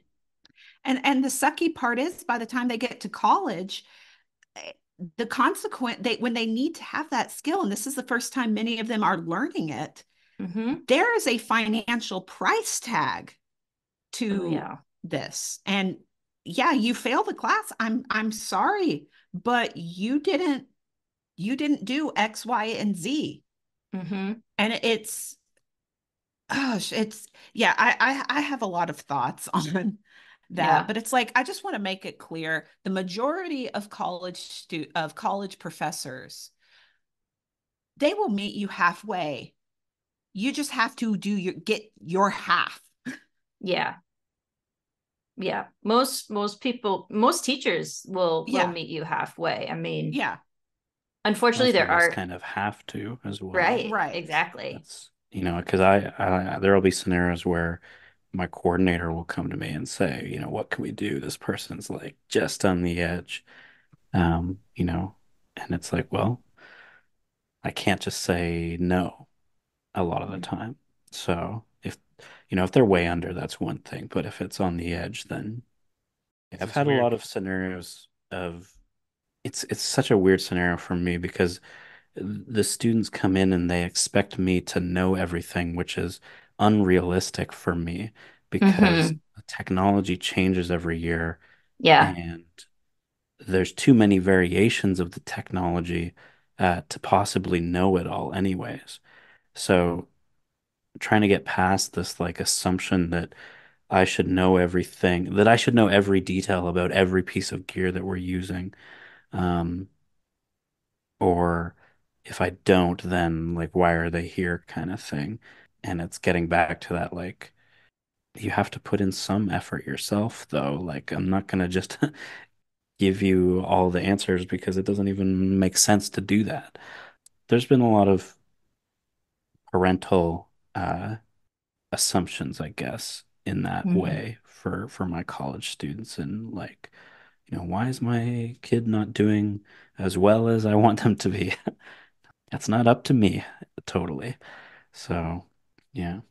Yeah. It's a tricky thing to try and because you know, I don't want to say that it's not up to me totally. Um, because I firmly believe that because this happened to me, and I'm sure it happened to a lot of us, that, you know, at one point in your life, you probably had a teacher that made the difference um, for whatever topic it was. And I think that's what I've seen a lot in some of my peers is that people kind of forget that that could be you for these mm-hmm. people. Um, and it doesn't mean that you have to be all like, you know, world changing every day, but that you could be the person that inspires someone to want to learn this thing. I think that's important to keep in mind. Uh, so it's kind of back and forth between the, you know, is this up to me or is it up to them? And you kind of have to find the balance and keep the parents away from uh, the scenario as much as possible in my case. I have some with private lessons, it happens a lot where the parent wants to come in and I'm like, no, leave the room and let your kid learn alone because like every time that's happened, the parent will answer the questions for Mm-mm. the student. Nope, nope, nope, like, nope, nope.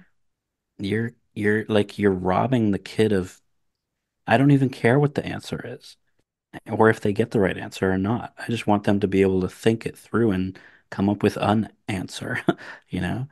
And uh, I've had a couple scenarios where the, you know, the dad plays guitar and uh, it's just the worst. uh-huh. And like, I get these like, why aren't you teaching this faster kind of thing? And I'm like, actually, it's you that's slowing this down by being here. Fun. Nick, you uh, you had something you wanted to say earlier.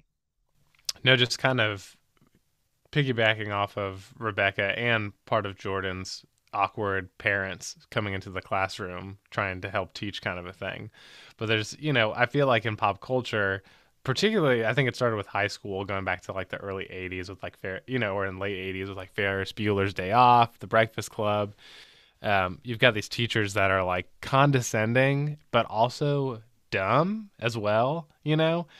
And then I feel like later college professors became part of that trope as well. Because I feel like, you know, if you watch something like, um, oh, Animal House or whatever, the professors are very smart. They're just kind of morally, morally reprehensible or whatever because they sleep with students and things like that.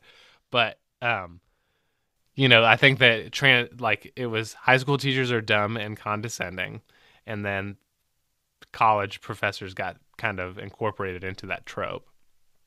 And um, you know, I even think of like re- I'm a big adult cartoon person, so like Mr. Garrison from South Park is like the epitome of like not knowing anything and like you know being terrible to their students.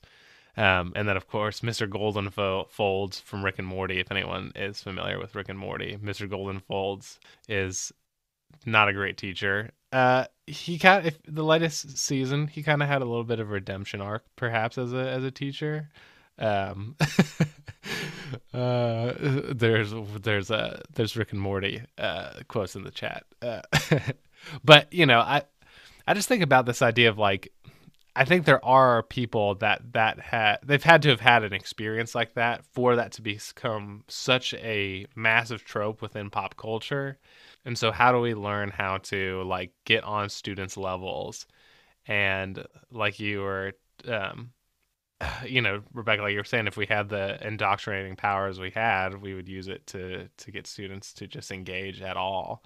Um, and I think of Jordan. Jordan brought up Victor Wooten, and he talks about like there's no such thing as a wrong note because you're not jamming to like the most people aren't listening, and they're going, "Oh yes, I love this uh, that they were using this scale or whatever. Uh, you know, they're they're jamming to what it sounds like. Um, and I think that for us to be able to be humble, so that we also don't know everything, allow students to teach us something while also leading um, and and getting them involved in the creative process.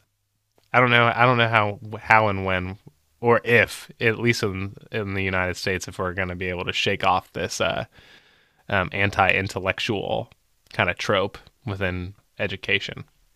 Yeah, because unfortunately, it is affecting us as as teachers. I mean, I don't know what it's like in Canada, Jordan, but you know, we have state legislators who are just not giving school public schools funding because of these images that people have of teachers and some of it is from pop culture some of it is just from a sort of workers mentality, like very blue, almost like, you know, you're a teacher because you couldn't do anything else mm-hmm. kind of mentality. And it's I, like, I'd say, I'd say it goes, I'd say it goes back to more of the, those, those who can't teach mentality. I mean, my, like, my fam, I come from a very blue collar family, but education was always, you know, that's, you need to, you need to go to college you know, always very highly prized.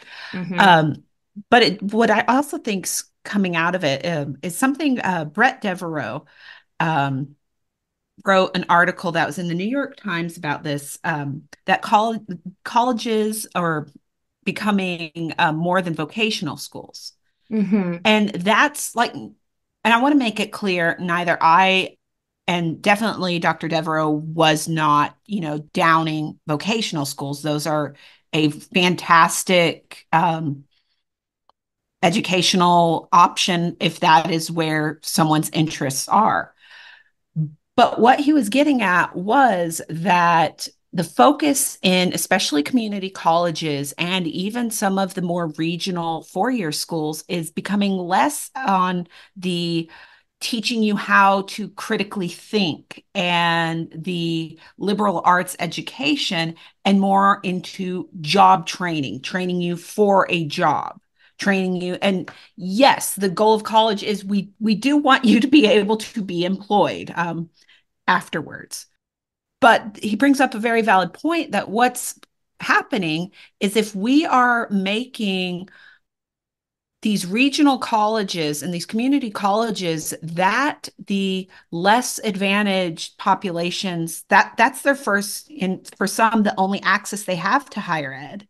It's just job training. Then we're create we're going back to a class system where only the uber rich can afford to learn how to think um and and, and that's what i also see is that one of the dangers we've got on our on the educational horizon at least at least in the us Mm-hmm.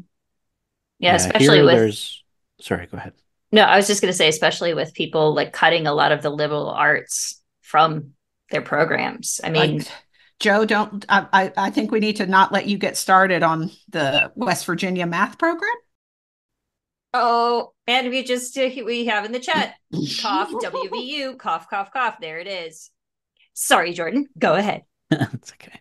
I was just gonna say, yeah, that's it's happening a lot here. Where for, you know, why do we need music class? Why do we need the art class? Um, things like that happening, and they those programs get cut pretty often, especially in the smaller schools. And I think that, you know, in my mind, a lot of it comes down to this kind of idea of what talent is, maybe, you know, and how you know, this person's really talented at hockey. This person's really talented at, you know, this other sport or or writing or whatever it is. And how there's no, there's never really anyone who's like their talent is learning or their talent, like that's never praised in the same way. Um, or, you know, someone's talent, you know, we were talking about those who can't do teach, but what if the thing that they're doing is teaching? What if that is the goal? you know? Um, but I don't think that it's ever really seen that way, you know, to the ominous they that we're kind of talking about, whoever that might be. Um, but I, you know, I remember specifically being in college myself and, you know, we went around the room. What does everyone want to do when they graduate? Because we were on a condensed program. It was one straight year from September straight through to August, and then we were done. Um, and so it was over fast. And it was like, what do you want to do when we're done? And I was the only person that said, I want to teach. And uh, first of all, that that kind of opened my eyes a little bit of like, wow, really interesting. I guess that I'll have that market then. um, but you know, it shows a little bit that, you know, it seems like the general consensus, obviously not for people like us, but for other people might be that, you know, that you know, teaching doesn't really count as, you know, the goal. It shouldn't count as one of the objectives. It's not until you spend some time with someone who you can tell, you know, the people that we've talked about and whatnot, and, and the people in this call, I'm sure that, you know, you can see what a teacher really is. And uh, I feel like a lot of those people, you know, it's almost too bad that you know, again, the people that we're talking about, the can the hypothetical person, um, maybe didn't have anyone like that when they went through the system. Um, so they don't know that there's any value there, you know, because they were never influenced like that by someone. Um, I think tying into this also, there's this very common notion um, that we are there, at least at the pre-collegiate levels, uh, are there to babysit children. And I've I've definitely heard people talk like, I don't know what to do with my kid because they're not at school today. And I'm like, well, I'm was a not huge your pandemic thing. yeah, I'm not I'm not your babysitter, so you should you know like you should you should come up with things to do with your kids when they're not in school because i that's not what we're here for you know like uh, or can this student uh, this thankfully is not an issue uh so much in my current job but in in, in one place uh a, a parent asked me well can uh, my son you know can't do X in your class today. Can he just come and sit in the class? And I said, Well, he's got to do that in class because that's what we're doing in class today. If if he can't do that, he just shouldn't come to class at all. You should just take him home, you know. And they said, Well, but but we can't do that because of blah blah blah blah blah. And I just thought, what is your concept of what we are doing in school? because if you if what you think is school is the place you send your kids so that you can have childcare while you go off and do I don't know your job or something else that might be perfectly legitimate or something that is not legitimate at all or what have you I it just you've completely misconceived why we're here and I think this also ties in to that anti-intellectual um, trend that we see, especially in the United States, where people don't want, um, don't think education is a good thing per se. Um, and and I, I I wanted to bring this up as well. I do think this also ties into the very peanuts idea of a teacher. If you watch Charlie Brown in a classroom, it's the the teacher, and my students know this, and they don't even re- they've never even really seen Charlie Brown. They know that the teacher goes wah wah wah wah wah wah, and it's not. Mm-hmm. It's like what the teacher says isn't important.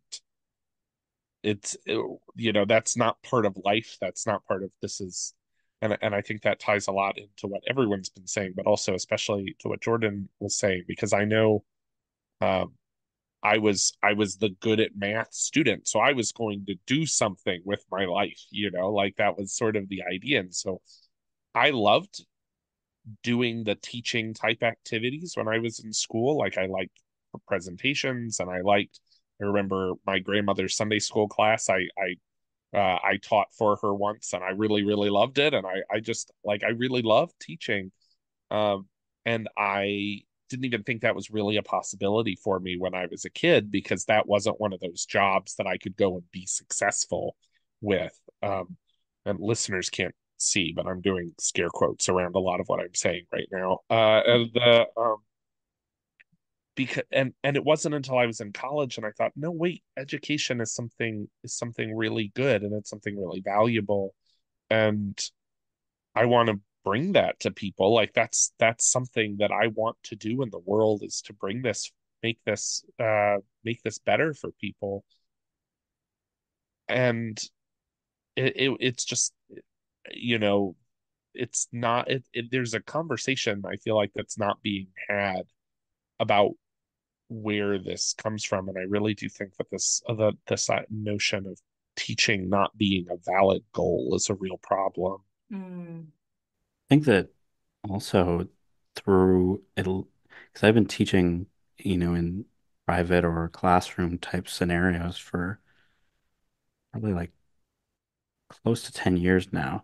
And it was really only over the pandemic that there was like a really noticeable shift in behavior and expectation from the students. Um, where, you know, I, I had an online class and I had had online classes before, you know, when the pandemic first started, so things hadn't really changed much yet.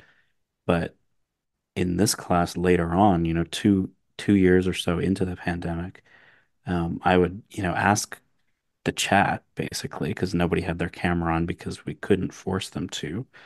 Um, and I would ask a question in the chat and get nothing at all. I'm talking like maybe two messages in a three hour class. In and I'm teaching something that's like based on them being like, oh, that's cool. Let me try this. You know, what what would happen if you did this kind of thing? And uh, yeah, to try and do that with this group was really, really, really difficult. And you could really sense, and some of them would just say it, you know, you could sense this kind of like, okay, but uh, what is the number that I need to be passing this course? Mhm. Um, so let's just figure that out and I'll do what I have to do to make that happen and then see ya. Um, and it's really tough thing to try and tackle as a teacher, I think, because it's like, again, is that up to me? Is that up to, I mean, they're paying for it. So, you know, what's the deal here? What's the protocol in terms of, you know, and then you get into the whole thing where it's like, well, the college isn't going to fail all of them, you know? And then, you know, as the teacher, you're like, well, maybe you should be though, because otherwise, we're, what are we even doing this for? You know, it's like just Yeah. something to spend the time doing, apparently. Um, and as a, a- like in my field, especially because when these people graduate, a lot of the time I'm like working with them immediately after because Ottawa is such a small music community. Um, you know, I I will see them at gigs and stuff, you know. Um, and so I don't want them to graduate and like not know what they're doing, you know, because I have to work with them and stuff. And it, you know, looks terrible on me if they don't know anything and and you know, they don't get work that way. Like they just can't get work if they don't know what they're doing. But then you have this whole dynamic where it's like, well, they got to pass though. And I'm like, well, they shouldn't though, you know? So it's it's a weird dynamic to try and play around with. Yeah. I think one of the core things that we've all been talking about is that as human beings, and especially in the culture that we're in, failure is a really difficult concept. Like, if we are afraid to fail because of the stakes that are attached to them, when learning to fail is part of Oh God, no. And no, Child Left Behind did nobody any favors. You're absolutely right, Rebecca Davis. I will curse No Child Left Behind until the day I die because it just there were the consequences for it were so dire. Like if a school did not pass these tests, they would get shut down. And that does not how does that help anybody? You know that just ended you know people would lose their jobs and people schools would close down and kids would lose their schooling. And it just it's counterintuitive to me.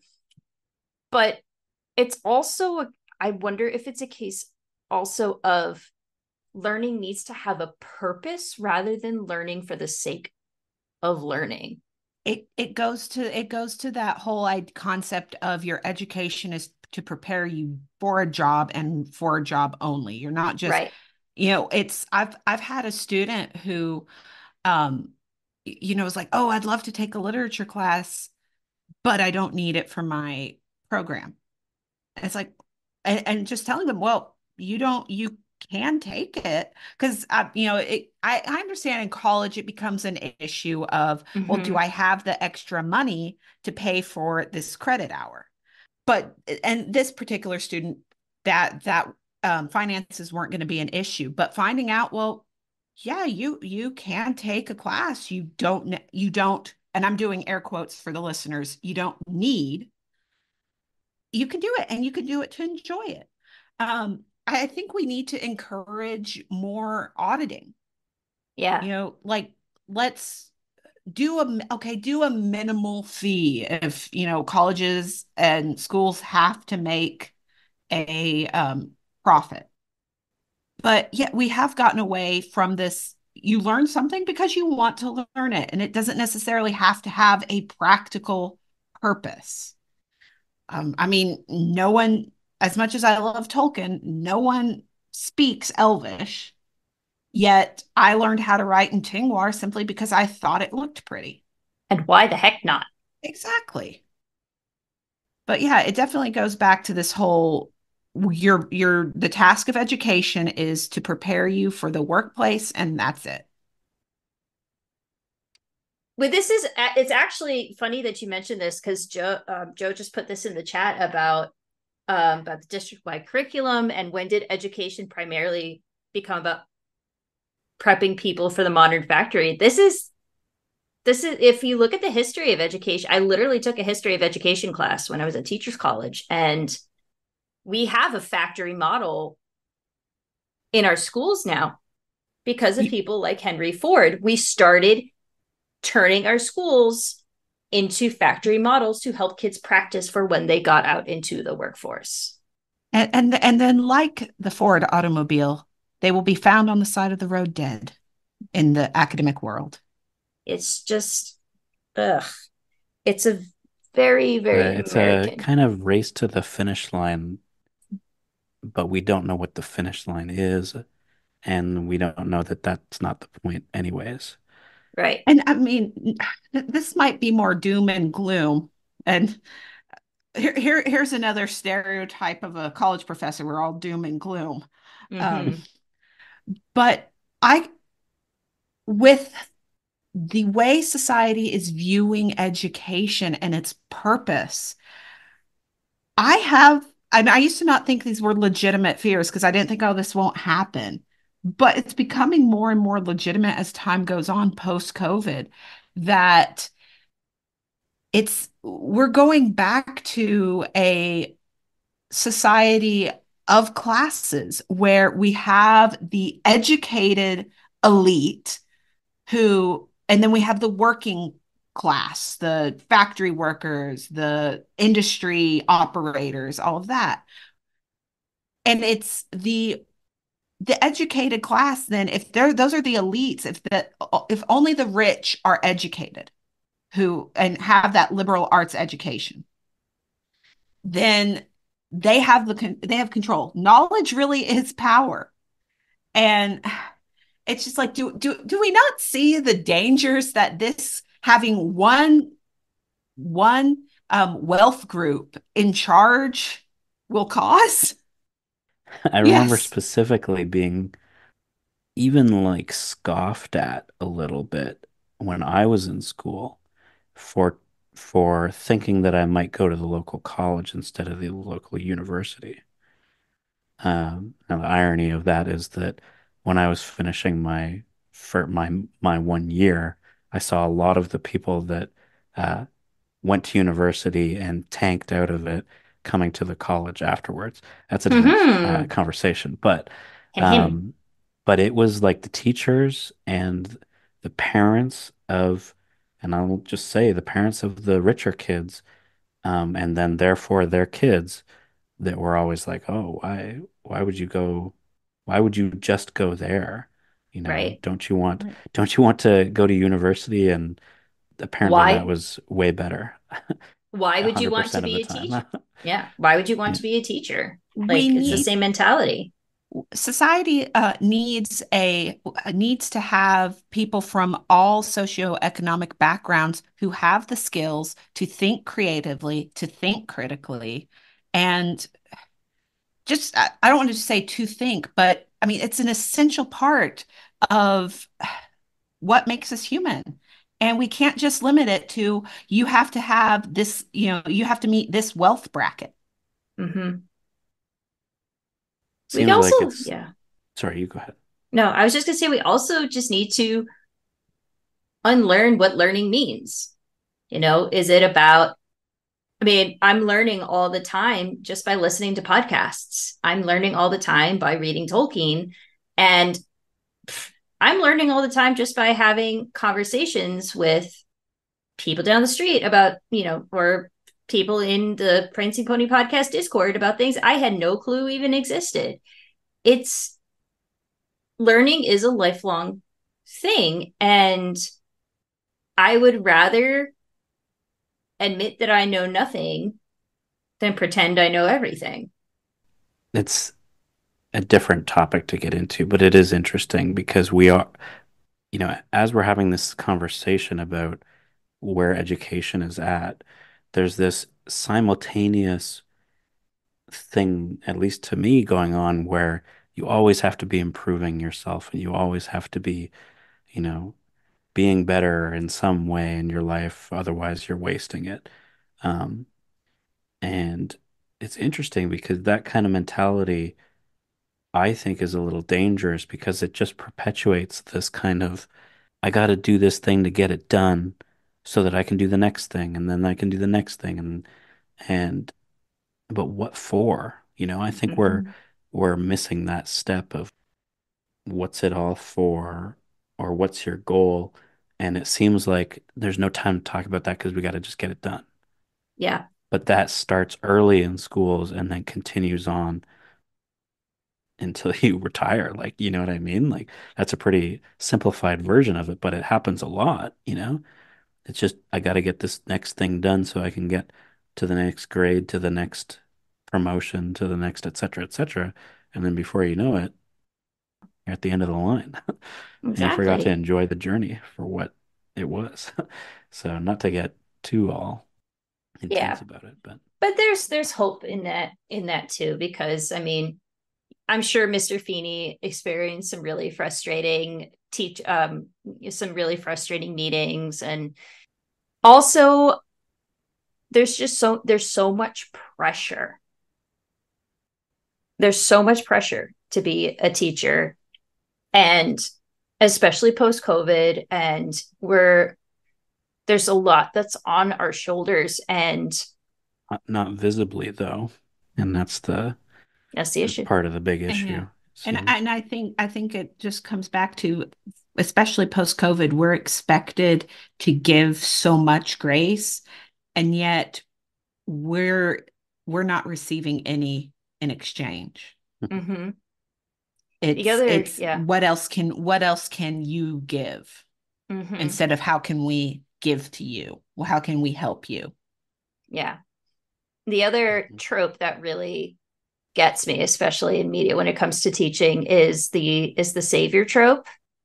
And this is a, I mean, this is a trap that we talked about with Nick um, about, you know, doing too much and making sure you're only taking the bites that you can, you know, and not, you know, make sure you don't burn the candle at both ends because it's really easy to fall into the savior trope and fall into the savior trap. Like I have to, like you, because you care, you care about your students and you want to see them succeed.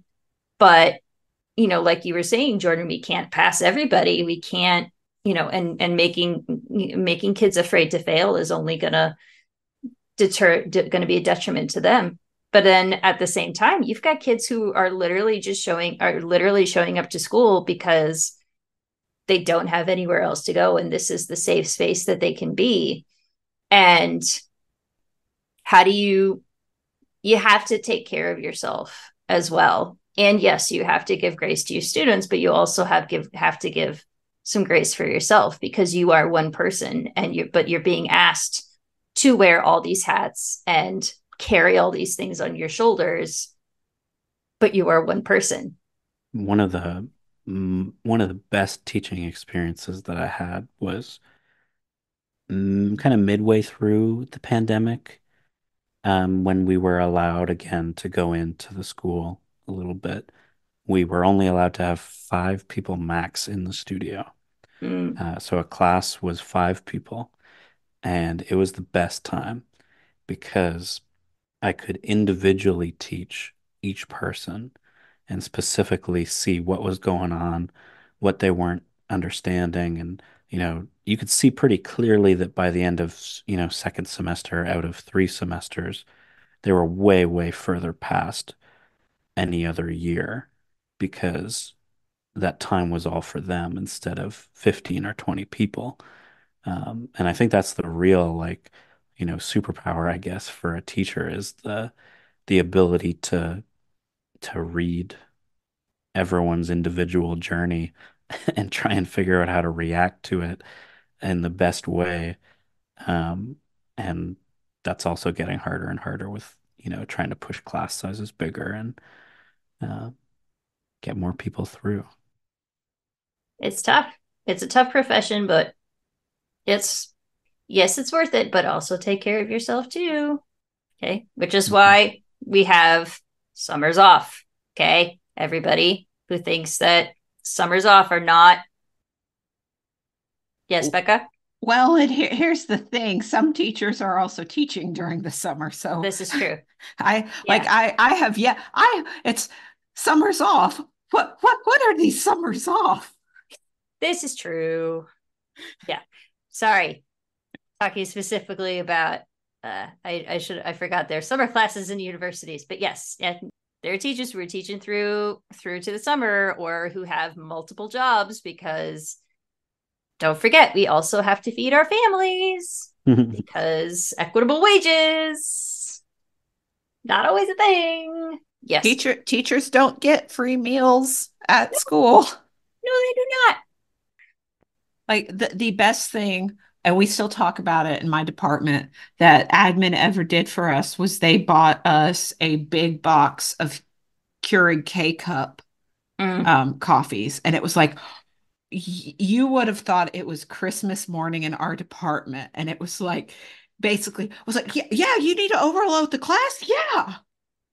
You got it. How many more do you need? I mean, it really was. And it's it's so funny how just little things like that, or like, hey, you know, this this um they've someone's donated subway lunches for the teachers like what that does for teacher morale it's insane It It's like- it does not take much to make us happy we will it's like we will give you the moon for a donut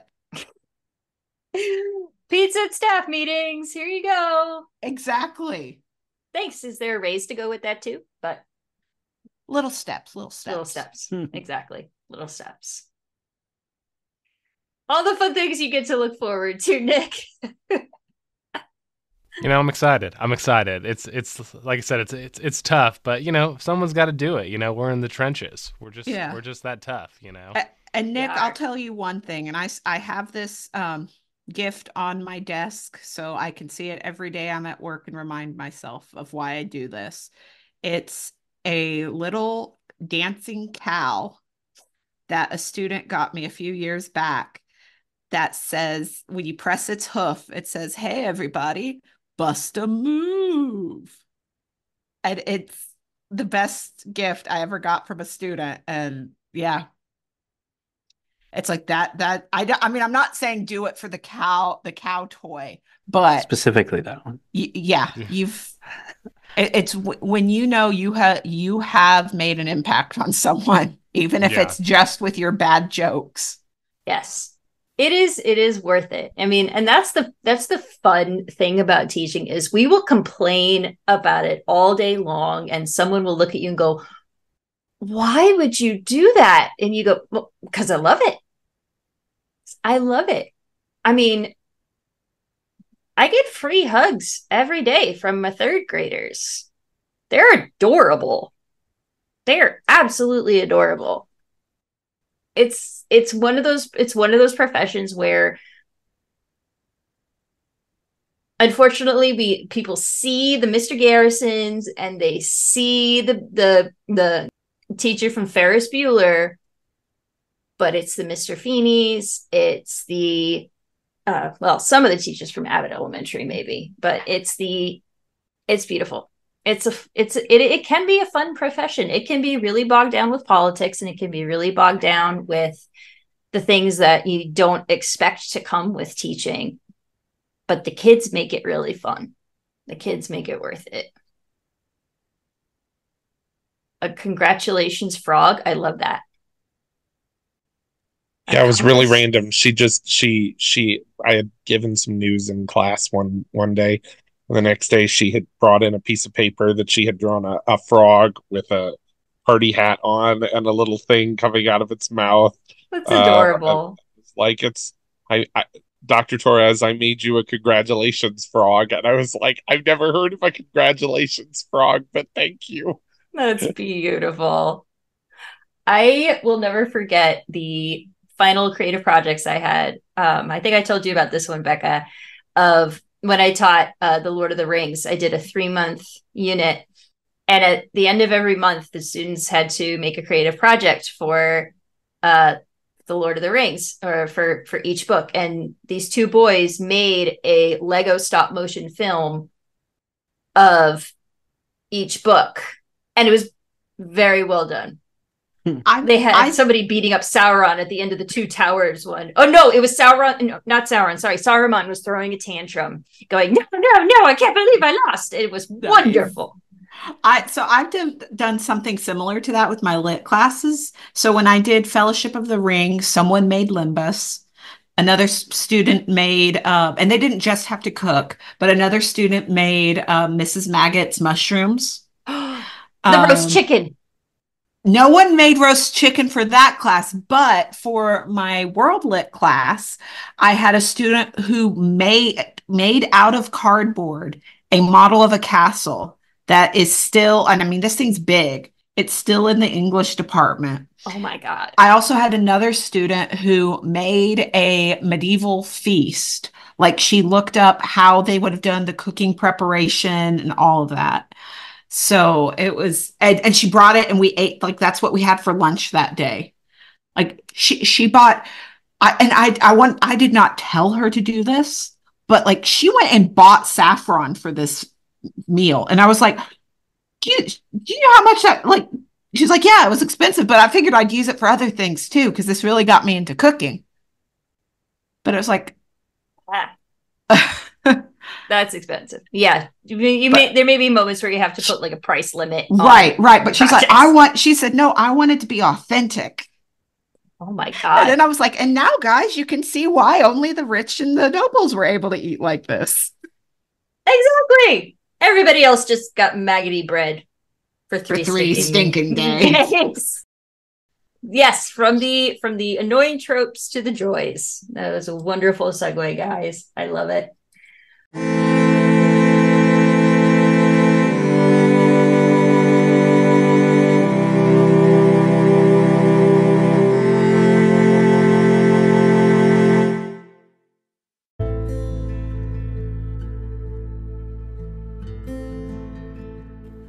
Listeners, thank you so much for joining us today.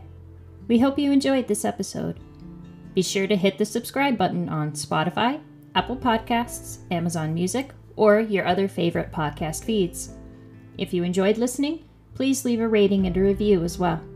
You can read and find out more about Teaching with Magic by visiting our website, teachingwithmagic.blog. You can leave a message on our podcast page, read past Teaching with Magic posts, and check out our book lists on our affiliate page. We also invite you to support us on Patreon. You'll have access to bonus material, our Discord channel, live Q&As, and you'll get a sneak peek at future products such as lesson plans, worksheets, and other teaching tools. The link is always available in our show notes and the podcast page on our website. Thanks again for joining us, and as always, keep making magic.